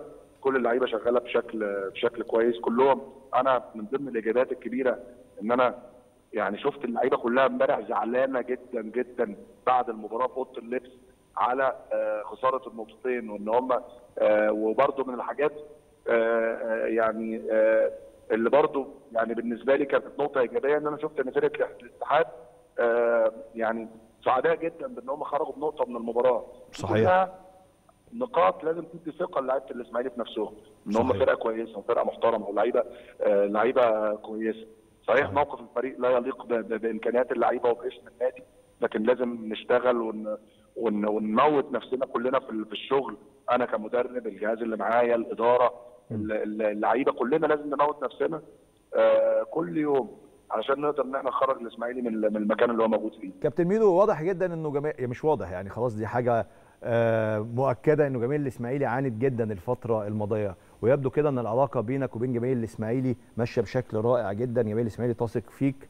ويبدو كمان إنه الفترة اللي جاية محتاج تقول لهم حاجة أو تطمنهم بحاجة عشان أكيد هم من أكتر الجماهير اللي في الكرة المصرية اللي عانوا في الفترات الماضية.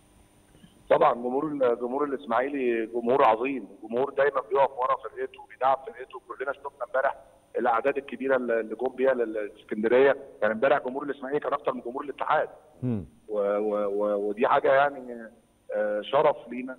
ولكن ده إحنا دايما كما عهدناهم إن هم دايما ورا الفريق وبيدعموا الفريق وبيدعموا اللعيبة. آه، وحتى بعد المباراة امبارح هم مقدرين زعلانين قلنا إن هم إن إحنا ما كسبناش لكن مقدرين إن اللعيبة كانت بتقاتل واللعيبة كانت بتلعب وشجعوا اللعيبة والفريق بعد بعد المباراة. آه، لو فضلنا ماشيين بالشكل ده بالتكاتف اللي موجود ما بين الجمهور وما بين مجلس الإدارة وما بين اللعيبة والجهاز إن شاء الله بإذن الله نقدر إن إحنا نعدي المرحلة الصعبة. آخر حاجة عالمي وهي للعالمي بقى. العالمي اللي بيلاعب قدام ريال مدريد هو أحسن حد ممكن ينصح لاعبي النادي الأهلي قبل مواجهة ريال مدريد المواجهة التاريخية في كأس العالم للأندية يوم الأربعاء اللي جاي إن شاء الله. نقول لهم ما تخافوش والعبوا بشخصيتكم و- وال- وال- واللي يخاف في الكورة ما يستحقش إن هو يلعب كورة. آه، ريال مدريد فريق كبير وطبعا لعيبته لعيبة كبيرة ومدرب كبير وكل حاجة. لكن آه، العبوا وما تخافوش وعبروا عن نفسكم والعبوا بشجاعة واستمتعوا بالمباراة. آه، لو عملوا كده هيعملوا ماتش ماتش كبير. الحقيقة آه، منظر فرقة الأهلي في كأس العالم للأندية منظر مشرف للكرة المصرية. آه، وأنا راجل زملكاوي ومدرب الاسماعيلي وباكد لك الكلام ده الكلام ده عظيم. لازم ندي كل واحد حقه. عظيم. آه وكل واحد بيشتغل وبيجتهد لازم ياخد ياخد حقه. فمنظر مشرف جدا ونتمنى إن إن, إن المنظر المشرف ده يكتمل بأداء جيد. وليه لأ؟ ما يكونش بنتيجة جيدة أمام ريال مدريد يوم الأربعاء. إن شاء الله يا رب. محترم ومحترف كالعادة الكابتن الكبير كابتن أحمد حسام ميدو المدير الفني للنادي الإسماعيلي. أنا بشكرك شكرا جزيلا بتمنى لك يا رب كل التوفيق في مهمتك مع النادي الإسماعيلي الفترة القادمة. نرجع تاني الاهلي وريال. مدريد. حلوة الكلمتين اللي قالهم ميدو آه في. الآخر إنه عبر عن نفسك. بالظبط. يعني أنت أنت لما تنزل قدام ريال مدريد محمد عبد الله لا أنا هوريكم بقى أنا كمان أنا زي زيكم. يعني أنا لعيب كبير. بالظبط. صح؟ بالظبط. لعيبة الاهلي يعني المفروض تقول لنفسك يعني أنت كنا بنتكلم قبل ما يخش ميدو على فكرة إنه محتاج تقول إيه لعيبة النادي الأهلي قبل المباراة دي.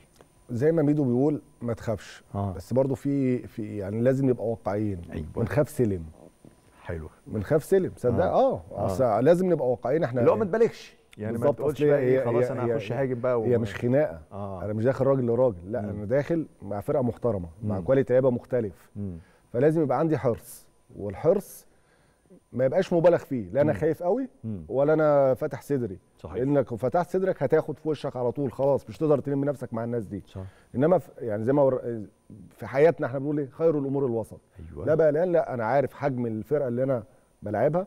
في نفس الوقت أنا عارف إن أنا فريق نادي الأهلي أو كيان نادي الأهلي أو أنا فعلا بلعب شخصية نادي الأهلي. مم. ودي لوحدها حافز. صحيح. آه آه في فرق آه بيني وبين ده. آه بس إن أنا في نفس الوقت برضو زي ما بقول لك بداية أو ممكن هيمشي ال game على على دماغ أنا. مم. ممكن أو ربع ساعة ما يبقاش فيه مثلا اندفاعات كتير لا بقى ابقى متحفظ ابقى واقف في مكاني بشكل كويس.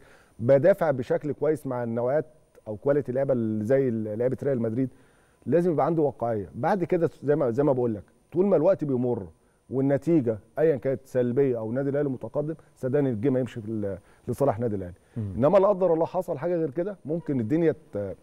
طيب. تروح في حتة تانية إحنا مش عايزينها. الكلام على دايما التشكيلة في الأهلي في خط الدفاع والوسط تقريبا ثابته ثابتة. آه الثلاثه الهجوميين بقى في المباراة دي تختار مين؟ والله بص واقعيا وده الأنسب آه. في مباراة زي دي. آه. أول واحد في الخط الأمامي اللي فوق طاهر. طاهر محمد طاهر. آه. هايل. طاهر من نوعيات اللعيبة تكتيكيا. محترمة جدا. صح. بيعرف يدافع بشكل كويس وبيعرف يهاجم بشكل كويس. صح. ممكن زي ما بقول لك ممكن إنتاجه على ال على ال على. الجون مش كتير صح. بس هو عنده أدوار تانية بيقدر يعملها بشكل كويس. أحسن من حسين أحسن من عبد قادر أحسن من آه، من بيرستاو مم. من كهربا الناس اللي بتلعب على الأطراف. مم. وفي نفس الوقت ممكن الاثنين التانيين ممكن يشتغل عبد قادر ان ده طبعا من اللعيبة المؤثرة جدا وده يبقى عنده حل غير طاهر. ومحمد شريف. دول أنسب ثلاثة ممكن النادي الأهلي يشتغل بيهم؟ والثلاثه مختلفين. آه. ثلاثة مختلفين. مم. شريف زي ما بقول لك ريحة ريحة عماد. هو مش عماد متعب طبعا بس على الأقل ريحة عماد. عبد قادر لعيب مهاري جدا وما بيهبش. ودي الميزة اللي عند عبد قادر. مش في دماغه حد فعلا. وده مطلوب في مباراة الأربعة إن شاء الله لأن فعلا المواجهات الفردية ممكن تركب جيم. صح. ممكن تركب لعيبة على لعيبة. صح. فممكن أحمد عبد القادر يعمل لك واحدة تدي الثقة أكتر مم. تدي الأريحية للعيبته لا ده إحنا نقدر نعمل. القادر عنده عنده الحتة دي ما بيهابش ما بيخافش. صح. فدي ممكن تركب نادي الأهلي. وهي فعلا مواجهات فردية المباراة دي مواجهات فردية. صحيح. في الحالات الدفاع والحالات الهجومية. صحيح. ال- الحاجة الثانية زي ما بقول لك طاهر بيعرف يأدي الدور ده بشكل كويس. وهيقفل الجبهة دي لأن انت عندك الجبهة دي جبهة قوية جد- جدا. فينيسيوس. آه، فينيسيوس. فأنت محتاج حد يبقى support كويس جدا مع محمد هاني. وطاهر بيعرف يأدي الكلام ده بشكل كويس. صحيح. كابتن محمد عبد الله دايما بتشرف ودايما بتنور. بستمتع جدا بتواجدك معانا. حبيبي. ربنا يخليك كريم. أنا. اتشرفت بيك طبعا. أشكرك شكرا. ربنا. جزيلا لسه مكملين مع حضراتكم بعد الفاصل. الزملاء الأعزاء محمد خليفة ومحمد داوود نكمل معاهم كلام عن مباراة الزمالك وفاركو اليوم وبالتأكيد نشير إلى مواجهة الأهلي وريال مدريد. خليكم معنا. يا أهلا بحضراتكم مرة أخرى شرفني وينورني في هذه الفقرة الأصدقاء الأعزاء المميزين دوما محمد خليفة ومحمد داوود. خليفه مشرف ومنور كالعادة ده أنا اللي بتشرف إن أنا معاك يا كريم وبشرف طبعا إن أنا في القناة الأولى وفي البرنامج الجميل حبيبي. بتاعك حبيبنا. يعني. داوود مشرف مع داوود ومنور. بقى آه حبيبي تسلم يا كريم متشرف بوجودي معاك ومع خليفة طبعا حبيبي طيب فاركو والزمالك النهارده ومرة أخ... مرة ثالثه النهارده هقولها أبدأ بالكسبان فاركو النهارده عمل مباراة محترمة جدا فاز على الزمالك 3-0 لو اتكلمنا على فرق الإمكانيات والتاريخ و و و فالزمالك أكيد أفضل كون إنك تكسب الزمالك 3-0 فده إنجاز عظيم جدا زي الكابتن طارق العشري قدر يحقق الفوز الكبير ده؟ آه خلينا نقول إن. يعني أنت قلت جملة جد... جميلة جدا. الكسبان لازم ياخد حقه. صحيح. آه طارق العشري ما جاش على الفريق آه عنده رفاهية. بالعكس فاركو كان بيعاني قبل طارق العشري لو شلنا الست نقط اللي خدهم طارق العشري في مباراتين المصري ومباراه الزمالك هتلاقي إن وضع فاركو في الجدول ما كانش جيد. الزمالك آه، فاركو المباريات اللي فاتت دي كلها كان واخد ست نقط. آه يعني لا بالتالي كان واخد أكتر مش عارف لا الحسبه لا قوي 6 و6 6 و6 طب ده كده يبقى لا انجاز عظيم. عفوا. هو كسب لا. ماتشين آه. غير تعادلات. آه لا كان بس مجمع. هو كسب ماتشين زي اللي آه. كسبهم قبل كده. آه لا كان مجمع نقط. آه. بس القصد هنا التأثير كبير جدا لطارق العشري صحيح. لو نبص بقى رقميا عشان ما نضيعش وقت الم- الم- المتابعين معانا فاركو كان أكثر فريق ثالث أكثر فريق يكسر يخسر الكرات في منتصف ملعبه. فترة الكابتن إيهاب جلال نقل كتير في منتصف ملعبك بتؤدي لمشاكل كبيرة جدا وخصوصا إن العناصر اللي هو الحارس آه، آه، شيكا على عناصر الدفاع رامي صبري على العناصر اللي معاه حتى مودي المميز بس ساعات كتير بتطول منه الكورة شوية لأن هو لعيب كورة فبيزودها شوية. كان بيخسر كرات في نص ملعبه. يمكن نفتكر دلوقتي أول جون تلقته فاركو في الدوري كان من البنك الأهلي. الكورة آه، شيكا كان بيحاول الكورة في رجله اتخطفت جت جون وفي أهداف كتير جدا تلقتها فاركو بنفس الطريقة. صح. حتى في مباراة الزمالك في غلطة حصلت. تعال نشوفها يلا. من أخطر فرص الزمالك لما رامي صبري بينقل الكورة غلط راحت لزيزو عمل منها هجمة خطر جدا اللي هي أخطر كره للزمالك في اللقاء. كانت نتيجة خسارة فاركو للكورة في منتصف ملعبه. يعني هنا الكره وهي مع فاركو هتتنقل لنص ملعبه آه، ال- الأمامي. أما بيخسر الكورة هيحاول هنا بص هنا لحظة عادية جدا من البناء السهل يعني. هي ممكن هي جاية معانا بدري شوية. هنا بص هنا رامي صبري هيحاول يمرر رغم إن مفيش ضغط كبير يعني ضغط الزمالك مش شرس خلي بالك بس رامي صبري غلط في تمريرة ارتدت بأخطر فرص الزمالك في المباراة اللي هو سيف حطها وبعد كده رامي كملها آه، في القايم. المشكلة دي خلينا نقف بس ثواني. المشكلة دي كانت مشكلة متكررة جدا في فاركو. لحظة واحدة يا جماعة الحلقة آه يعني خلينا نبص الصورة الأول. هنروح لصورة؟ يا ريت تكون جاهزة معانا للتمريرات الخلفية اللي كانت بتمارسها فاركو في مباريات زي مثلا مباراة إنبي اللي هي آخر مباراة لكابتن إيهاب جلال. آه. شبكة التمريرات إنبي آه. مش لقطة هي صورة. آه، صورة. لعدد التمريرات أكتر من خمس تمريرات ما بين لاعبي فاركو. آه. هتلاقي تمريرات كثيرة جدا بين آه لا دي دي من مباراه الزمالك. آه. ده هنا من أول الزمالك. لو خلينا نبص على الزمالك عشان نبص بص كده التمريرات اللي في نص ملعبه أكتر من خمس تمريرات. مفيش لاعب في الخط الخلفي مرة لزميله أكتر من خمس تمريرات. أيوة. لا إحنا بنتكلم على التمريرات الخمسة دايما في الثلث الأخير. بص لي بقى في آخر في مباراة إنبي اللي هي كانت آخر لقاء للكابتن إيهاب جلال. بص الشبكة كانت عاملة إزاي يا كريم؟ دي شبكة يعني بين الاثنين مساكين في 25 تمريره رايحة جاية. آه. 25 تمريرة رايحة جاية بين 14 الاثنين و11 مساكين آه. 11 و14 آه. و... وعدد كبير جدا من التمريرات بتتم في النص ده. كانت في أخطاء كبيرة لأن ال quality مش عالي. صح. فاركو من ماتش المصري. لو الناس تتفرج على الجونين هتلاقي كرة طويلة وكرة تانية. صح. النهارده من أول لحظة في المباراة بيلعب كرة طويلة وبيلعب على الكرة التانية بالمناسبه كابتن طارق العشري طوال تاريخه بيعمل كده وهو ناجح آه. لأن دي ال quality اللي موجودة في الأندية اللي دربها كابتن طارق العشري صح، صح. يعني أيوة، أنت أنا معاك عشان أهو. المنتخب يلعب كورة ويبني من الخلف بيروحوا يدوروا على المدافعين تروح تدور على محمد عبد المنعم تروح تطور في حجازي تروح تدور في الونش ولسه ما حدش عارف يعملها بشكل كويس قوي يعني خلي بالك يعني صح. على مستوى منتخب مصر صح. فالقماشة اللي كانت متاحة للكابتن طارق العشر في الأندية مش قماشة لعيبة هتبني من الخلف وحاجات زي كده كملوا لنا اللقطات يا جماعة هات بقى آه، يلا. آه دي هنا زي ما دي قلنا خلصناها دي. هات بقى اللقطات نفسها اللقطات بقى فاركو كان بيعمل إيه النهارده؟ آه. كرة طويلة وكرة تانية. كان بيعملها في ماتش المصري. الناس بتتفرج على ماتش المصري هتلاقي كده. وبيحاول يعمل ضغط عكسي. دي الحاجتين اللي بيجيد. أنا عايز آخد الكرة في نص ملعب الخصم. بص هنا ده الجون الثاني جاء من كرة طويلة اشترك خد الكرة الثانية سدد سجلت هدف. آه، أكتر من والجون الأولاني جه من الضغط العكسي. أنا هاخد الكرة من نص ملعبك. الحاجات اللي كانت بتخسر فاركو. هنا بص الكرة الطويلة. في خطأ طبعا من دونجا انه راح يعمل ضغط تاني مع سيسي رغم إنه المفروض كان يلتزم بمكانه وخطأ من عواد بس في تميز لعمرو جمال. طبعا. هنا هنا بقى بص الضغط العكسي. أول ما لعيب فاركو بيخسر الكوره وقف هو خسر الكوره شكرا نجيب مكمل.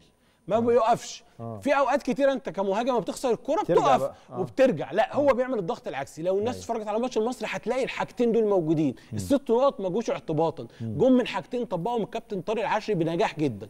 لعب كرة طويلة ولعب على الكرة الثانية بشكل جيد ولعب على الضغط إن أنا اخد الكوره في ملعب الخصم. اللي كان بيعاني منه فاركو حوله الميزة. والنقطة الأخيرة بقى لا مش محتاج إن إحنا نشرحها بالحالات. دفاع منظم جدا بخطوط الملعب. فاركو كان بيلعب في 20 30 ياردة وم- ومقفل الملعب على الزمالك بكل خطوطه. ودي أعتقد يعني إيه طارق العشر مميز فيها ومش محتاجين نشرحها بالحالات لأنها كانت مميزة جدا. وده أعتقد النهارده سر تفوق فاركو ولمسة طارق العشري السريعة جدا السريعة جدا على الفرق اللي هو بتبقى شبه اللي بيدربها في فاركو. يعني هو طارق العشري دايما كان بينجح مع طلائع الجيش الفرق المتوسطة في الجدول اللي ما لهاش طموح. تنافس بس في نفس الوقت يقدر يحطهم في مكان جيد جدا في الجدول وده يحسب لطارق العشري من ناحية تانية يا داوود النهارده مش النهارده بس المباريات الأخيرة لنادي الزمالك. واحدة من أهم نقاط قوة نادي الزمالك من الموسم الماضي وحتى في بدايات الموسم الحالي الكرات العرضية سواء ثابتة أو متحركة الزمالك افتقد ده النهارده بشكل كبير. طب خلينا نقول إن الزمالك على مدار الموسم الحالي بيعاني جدا في الكرات العرضية وده كان إرث سابق لنادي الزمالك كان يعني كان شيء حميد سابه باتريس كارتيرون لنادي الزمالك رغم إن باتريس كارتيرون كان عنده مشاكل فنية كتير لكن كان بيعتمد على جودة الأفراد اللي موجودة معاه وده كان يخدمه كان موجود بن شرقي وفرجاني ساسي ومصطفى محمد كلها عناصر زيزو كلها عناصر تقدر تساعده إن هو يقدم كورة جيدة جدا لكن الفكرة الرئيسية اللي كان بيطبقها باتريس كارتيرون مع نادي نادي الزمالك لما يوصل لثلث الملعب الأخير طلع الكرة على الطرف العب عرضية واعمل كثافة كبيرة جدا داخل منطقة الجزاء. وده شيء ساعد نادي الزمالك في إن هو يح- يحسم بطولات كتير. باتريس كارتيرون نفسه لو نفتكر في آخر سبع مباريات اللي الزمالك حسم بيها الدوري ما قبل الماضي نفتكر الكرات والزيادة اللي كانت بتحصل حتى أوقات من الظهير الأيسر محمد عبد الشافي يدخل جوه منطقة الجزاء. آه مروان حمدي. الكرات العرضية وقت كارتيرون كنت بقول إيه الله يكون في عون منافسين الزمالك. كنت هتراقب مين ولا مين؟ يعني أي عرضية بتلاقي أربعة موجودين في منطقة الجزاء. بالظبط. دايما كان المهاجم وال wing العكسي ولعيب رقم 10 أو 9 ونص وقتها اللي هو كان أوباما back أو right back كمان. و8 بالظبط. كان بيبقى في كثافة كبيرة لدرجة إن كان في لقطة شهي- شهيرة في مباراة الأهلي والزمالك. شيكابالا اللي هو مش بيلعب براسه دخل جوه منطقة الجزاء عشان الكرة العرضيه اللي بتتلعب. صح. نيجي نشوف النهارده بقى ال- الزمالك عاجز تماما هجوميا. كان بيقدر يوصل لثلث الملعب الأخير على أطراف الملعب مش من عمق الملعب. ولما توصل لثلث الملعب الأخير من على اطراف الملعب الحل الأول اللي قدامك قدام التكتلات الدفاعية عرضية. العب عرضية هنا هنشوف بقى أكتر من خطأ في عرضيات الزمالك في النهاية بتوصل الزمالك اللي هو مش بيقدر إن هو يكون ناجح هاي. الأخطاء دي اللي هي زي إيه إن العرضيه تتلعب على القصيره على القائم القريب قبل ما نبدأ نستعرض حتى الحالات عايزين نلخص ال- الفكرة أو نبدأ نستعرض يلا. هنا طب نستعرض بقى حالة حالة من الأول بس عشان نقدر واحدة. ارجع- ن- ارجع هات نكرر الحالات والناس هتشوف إيه نوقف ثانية هنا مفيش. مفيش كثافة جوه منطقة الجزاء صح. المهاجم مش بيقطع على العارضه القريبة. العر... الكورة أصلا أوقات كتير مش بتوصل للقائم البعيد وبتتقطع من العارضه القريبة. دي دول الثلاث مشاكل الرئيسيين اللي موجودين عند الزمالك النهارده في الكرات العرضية. دي حالة مثلا من زيزو. هنشوف مفيش كثافة داخل منطقة الجزاء والجزيري ب... م- ما قطعش على العارضه القريبة ما قطعش ما اتحركش على العارضه الأولى.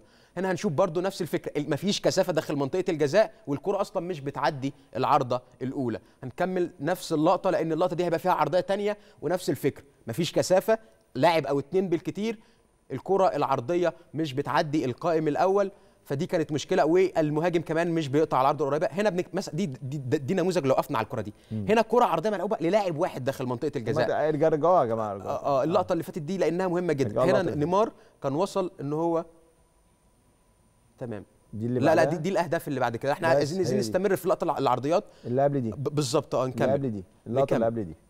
نكمل حتى الحالة دي برضو. بالظبط هي اللقطة يلا، دي. يلا. هنا الزمالك وصل لثلث الملعب الأخير الشيء اللي كان صعب على نادي الزمالك. والحل اللي قدام نيمار إن هو يلعب عرضية. بيلعب عرضية لمين بقى؟ ده السؤال. بعيدا إن العرضية نفسها غير سيف هو سيف نفسه هو اللي مخرجه. يعني سيف هو اللي بيطلع. هنا المساحة موجودة لنيمار إن هو يلعب عرضية. هنا نيمار لعب العرضية غلط ومش دي المشكلة. لو حتى. العرضيه اتلعبت صح هتتلعب لمين؟ أربعة على واحد. ده السؤال اللي موجود في الزمالك. عشان كده وبالمناسبة الزمالك كان عنده واحد من أو- أو مش واحد من هو أفضل لاعب بيرسل كرات عرضية في الدوري المصري أحمد مصطفى زيزو. صح. ده حل بقى غير مست... غير غير مفيد مستغل. لنادي الزمالك وغير مستغل تماما. حتى لو نفتكر كان جزء كبير من انتقاد لعب زيزو ناحية ال... ال... اليسار إنه بياخد كتير من دقة عرضياته أو من اجادته في العرضيات. لكن دلوقتي حتى زيزو هو موجود ناحية اليمين والزمالك بيلعب عرضيات عرضيات بتقابلها. مفيش كثافة داخل منطقة الجزاء المهاجم مش بيقطع على على العارضة القريبة. آه كمان الأوقات كتير العرضيات مش بتتجاوز القائم الأول. دي مشاكل كتير كلها موجودة عند نادي الزمالك. وأنا في وجهة نظري الحل الأسرع لمشكلة الزمالك عشان تسجل الكرات العرضية. ليه؟ لأن معظم مدافعين داخل القارة وداخل الدوري المصري بيعجزوا وبيفشلوا في التعامل مع الكرات العرضية. فدي مشكلة أعتقد إن كحل مبدئي محتاج الزمالك يبدأ يتعامل معاها عظيم. عايز أسألك بقى على بديل إمام عاشور النهارده.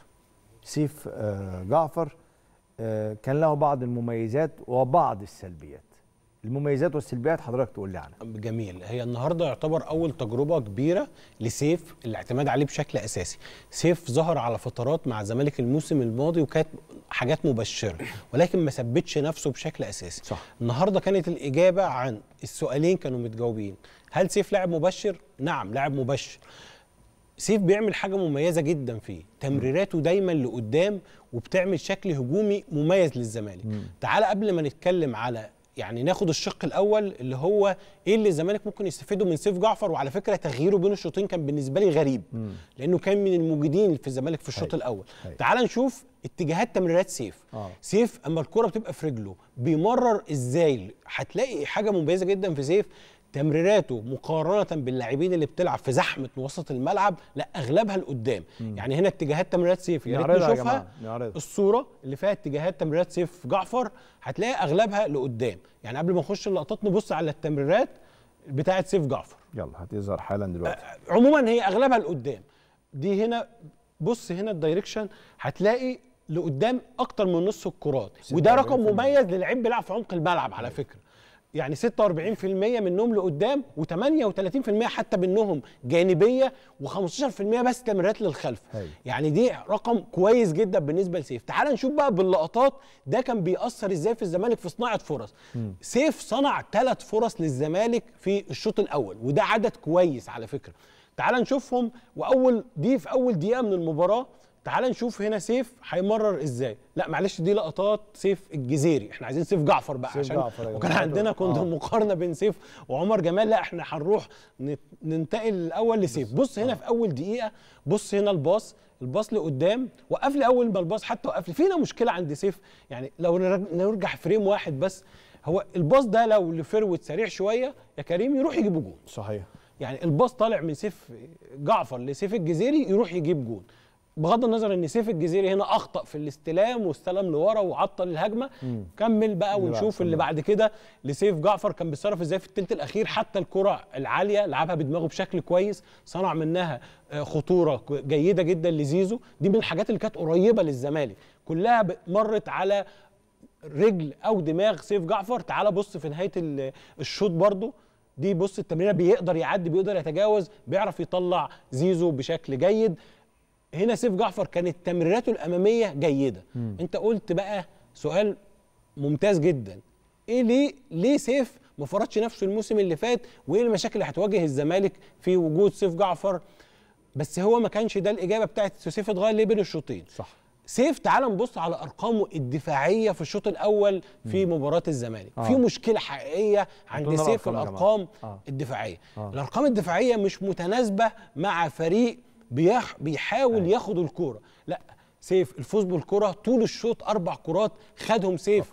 منهم التحامات ناجحة اتنين. يعني في كورة مثلا من الأربعة دول هو خدها لما اللي هي زي ما تقول كورة ملهاش صاحب وسيف لمها قطع الكرات زيرو. تصدي اللي هو عمل block لأحد اللاعبين مثلا وهو بيسدد أو هو بيمرر زيرو الفوز بالكرة الثانية واحدة بس. يعني شفنا مثلا ممكن لعيبة فاركو كانت بتفوز بالكرة الثانية ثلاث مرات في لقطة صح، واحدة. صح. الالتحامات الهوائية واحدة. فدي الأرقام هي دي مشكلة سيف. فيها جزء بدني. يعني هو محتاجين يعني محتاجين من لاعب اللي بيلعب في مركز عشرة في نادي هيروح ويهاجم ويدافع وكلام من ده يبقى فيه قوة بدنية صح. قوة في الالتحامات. ما يبقاش اللعب يعني اللمسة الجمالية مطلوبة ودي كانت موجودة في سيف العشرة التقليدي بتاع زمان ده اللي هو. اللاعب الحريف اللي صاحب لعبة ده انسى. مفيش خلاص انت يعني دفاعية. انتهت كده عصر زيدان وكابتن حازم إمام صح. انتهى صح. فاحنا في عصر دلوقتي لاعب الوسط اللي هو بيمثل إضافة هجومية وفي نفس الوقت ركيزة من ركائز الدفاع فسيف محتاج يشتغل على الجانب البدني آه. ومحتاج يشتغل على التحاماته وقوته البدنية عشان تساعد إن هو يكون وسط الزمالك مش مستباح في وجوده تيجي نخش المطبخ نجهز شوية حاجات لشباب بلوزداد يلا بينا. عشان دي مواجهة مهمة قوي يلا. نروح لفاصل ونرجع يكون داود دب- طبخ لنا الطبخة الحلوة. إزاي الزمالك يفوز على شباب بلوزداد إن شاء الله يوم الجمعة القادمة؟ خليكم معانا يا أهلا بحضراتكم. مرة أخرى داود طبخ الطبخة. خلاص هيقول لنا دلوقتي الزمالك إزاي يكسب شباب بلوزداد يوم الجمعة اللي جاية. يكسب الزمالك؟ إن شاء الله بإذن الله يكسب يكسب. الزمالك. طيب. بإذن الله. بس شباب بلوزداد مش فريق سهل. فريق صعب جدا ورقم صعب في المجموعة وقد يكون في ال... يعني كحالة فنية وإحنا بنبص على ال- الأسماء اسم الزمالك أكبر اسم الترجي أكبر لكن كحالة فنية الرقم الأصعب حاليا هو شباب بلوزداد وده شيء الناس محتاجة تكون عارفاه بشكل كويس جدا. زمالك هيلاعب فريق هو بطل الدوري الجزائري في آخر ثلاث مواسم ومتصدر الدوري الجزائري في اللحظة الحالية. منتخب الجزائر اللي كان بيلعب امبارح أو أول امبارح نهائي كأس أمم أفريقيا للمحليين التشكيلة الأساسية اللي بدأ بها منتخب الجزائر كان فيها سبع لاعبين من شباب بلوزداد سبع لاعبين. ده رقم كبير جدا جدا جدا. خلينا نقول ان الفريق منتخب الجزائر كان بيلعب ثلاثة أو أو خمسة ثلاثة اتنين.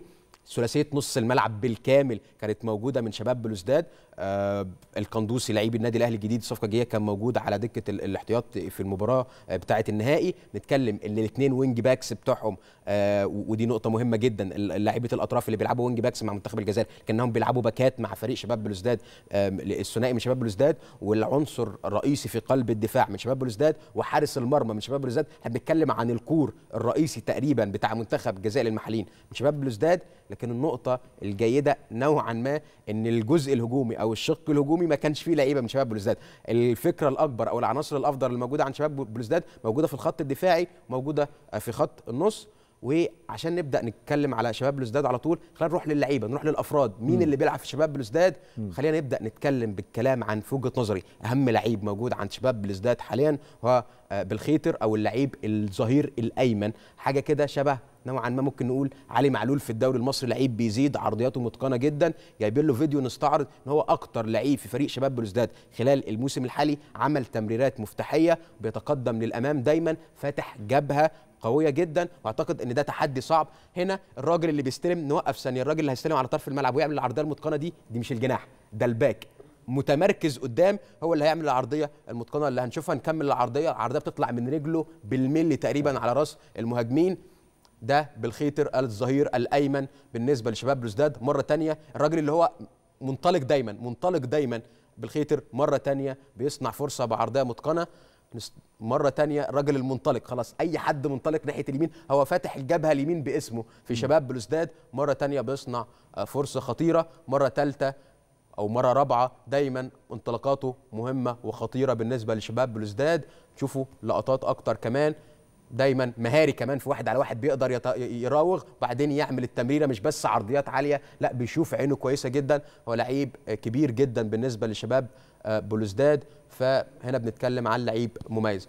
أعتقد إن إحنا هنا هنبدأ ننتقل عن بعد بالخيتر زي ما قلنا هو الظهير ودي حاجة مهمة جدا عن شباب بلوزداد إن خطورتهم الأكبر عند الاظهره الثنائي الظهير زي ما قلنا هم دولي مع منتخب المحليين بالخيتر الظهير الأيمن لعيب قوي جدا بيفتح جبهة وهنا مهمة قوية جدا سواء اللي هيبدأ في المباراة عبد الشافي وعنده خبرات كبيرة جدا أو أعتقد إن فتوح ممكن خلاص هو اللي يبدأ المباراة دي وإن هو يلعب. وفتوح لعب ماتشات على لعيبة كتير في دوري أبطال إفريقيا فالجيم مهم جدا لفتوح إن هو يقفل واحد من أهم مفاتيح اللعب.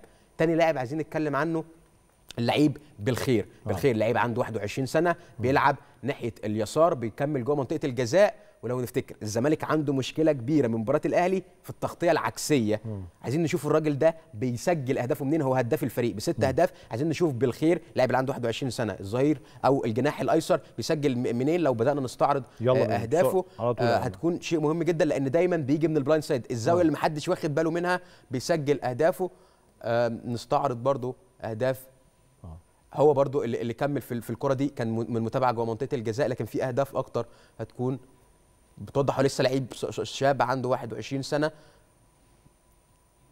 دايما بيكمل بيكمل دايما في ال- ال- الزاوية العكسية أو بيكون دايما لعيب مش متشاف هو اللي بيجي من الناحية البعيدة. ودايما شوفه جوه منطقة الجزاء بيخترق منطقة الجزاء. دايما عينه على منطقة الجزاء بيكمل جوه منطقة الجزاء بشكل كويس.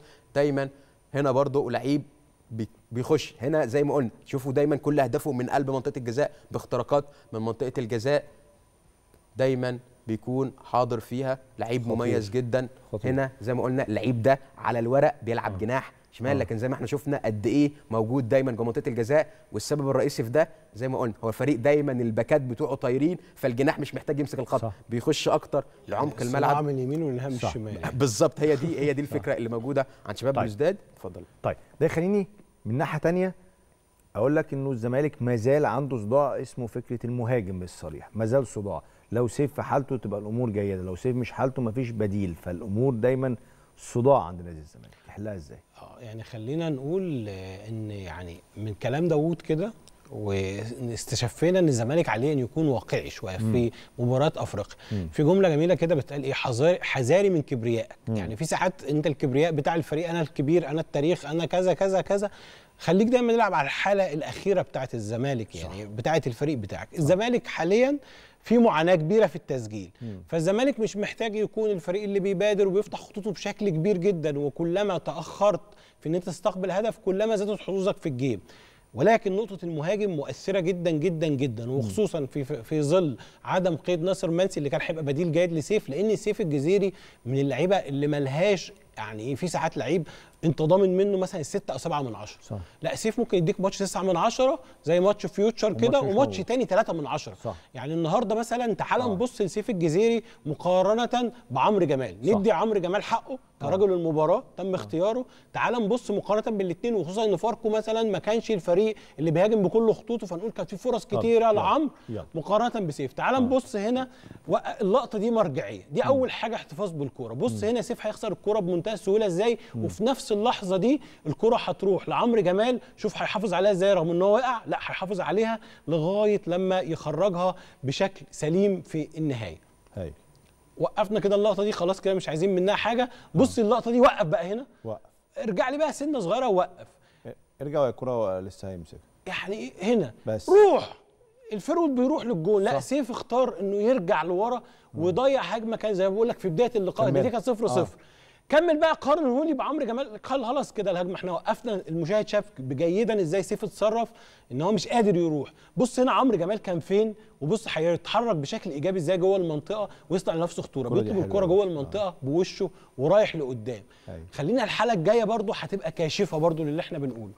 أول ما سيف يستلم وقف وقف هنا لو سمحت. لا ارجع لي سنة برضو وقف ارجع لي معلش أنا هبقى رزل شوية بس عشان. مشاهدينا يفهموا شوية الدنيا معانا إزاي. هنا انت ك forward استلمت بص الكرة أول ما استلم سيف آه. اديني frame كمان بس وقف هنا. التصرف الطبيعي إيه؟ اطلع لقدام وانقل فريقك. بص سيف بيتحرك إزاي؟ هي إيه المراوغه اللي أنت. هتاخدها لما تعمل الكرة للخلف؟ كمل كمل بقى. بقى عادي. آه. كمل عادي خلاص الناس شافت كويس سيف اتصرف آه. إزاي. عطل الهجمة. هعطل الهجمة مليون المية. صح. تعالى هقارنه لك برضه بعمرو جمال اللي عمرو جمال اللي لازم ياخد حقه. بص عمرو كان فين؟ بص عمرو اللي هنا على شمالنا في الشاشة. بص بعيد برضه يعني أنا مش بكلمك على فريق بيصنع فرص كتير. بص عمرو هيستلم. بص وشه وشه إزاي بقى؟ هنا هتطلع هتطلع كمل كمل هنا أول ما يستلم. بص عمرو جمال هنا هي- هيهرب من عمرو السيسي ويستلم بوشه وهيروح فين؟ على قدام. على قدام رايح على قدام يعمل هجمة كانت خطيرة جدا جدا جدا لولا تدخل فتوح. وكانت فيها لقطة غريبة برضو من الزمالك بتأكد شوية ان هزيمه الفريق أنا للأسف الوقت راح مني. ولا يهمك. آه للأسف الوقت راح مني بس أتمنى إن سيف إن شاء الله الماتش الجاي يرجع هو سيف ما هو. ساعات إحنا بنقول بقى ماتش وماتش فنتمنى إن يكون في المباراة الجيدة. يعني إحنا خدنا ماتش فيوتشر كان سيف جيد. الماتش ده واقع فممكن الماتش الجاي يبقى موعدنا. مع سيف الجزيره إن شاء الله. نورت كالعادة خليفة اتشرفت جدا بيك. ده أنا اللي بشرف بيك يا. كريم وبتشرف بكل مشاهدينا حبيبي. داود كالعادة استمتعت. حبيبي يا كريم أنا بشكرك شكرا جزيلا. شكرا جزيلا. ده كان ختام حلقتنا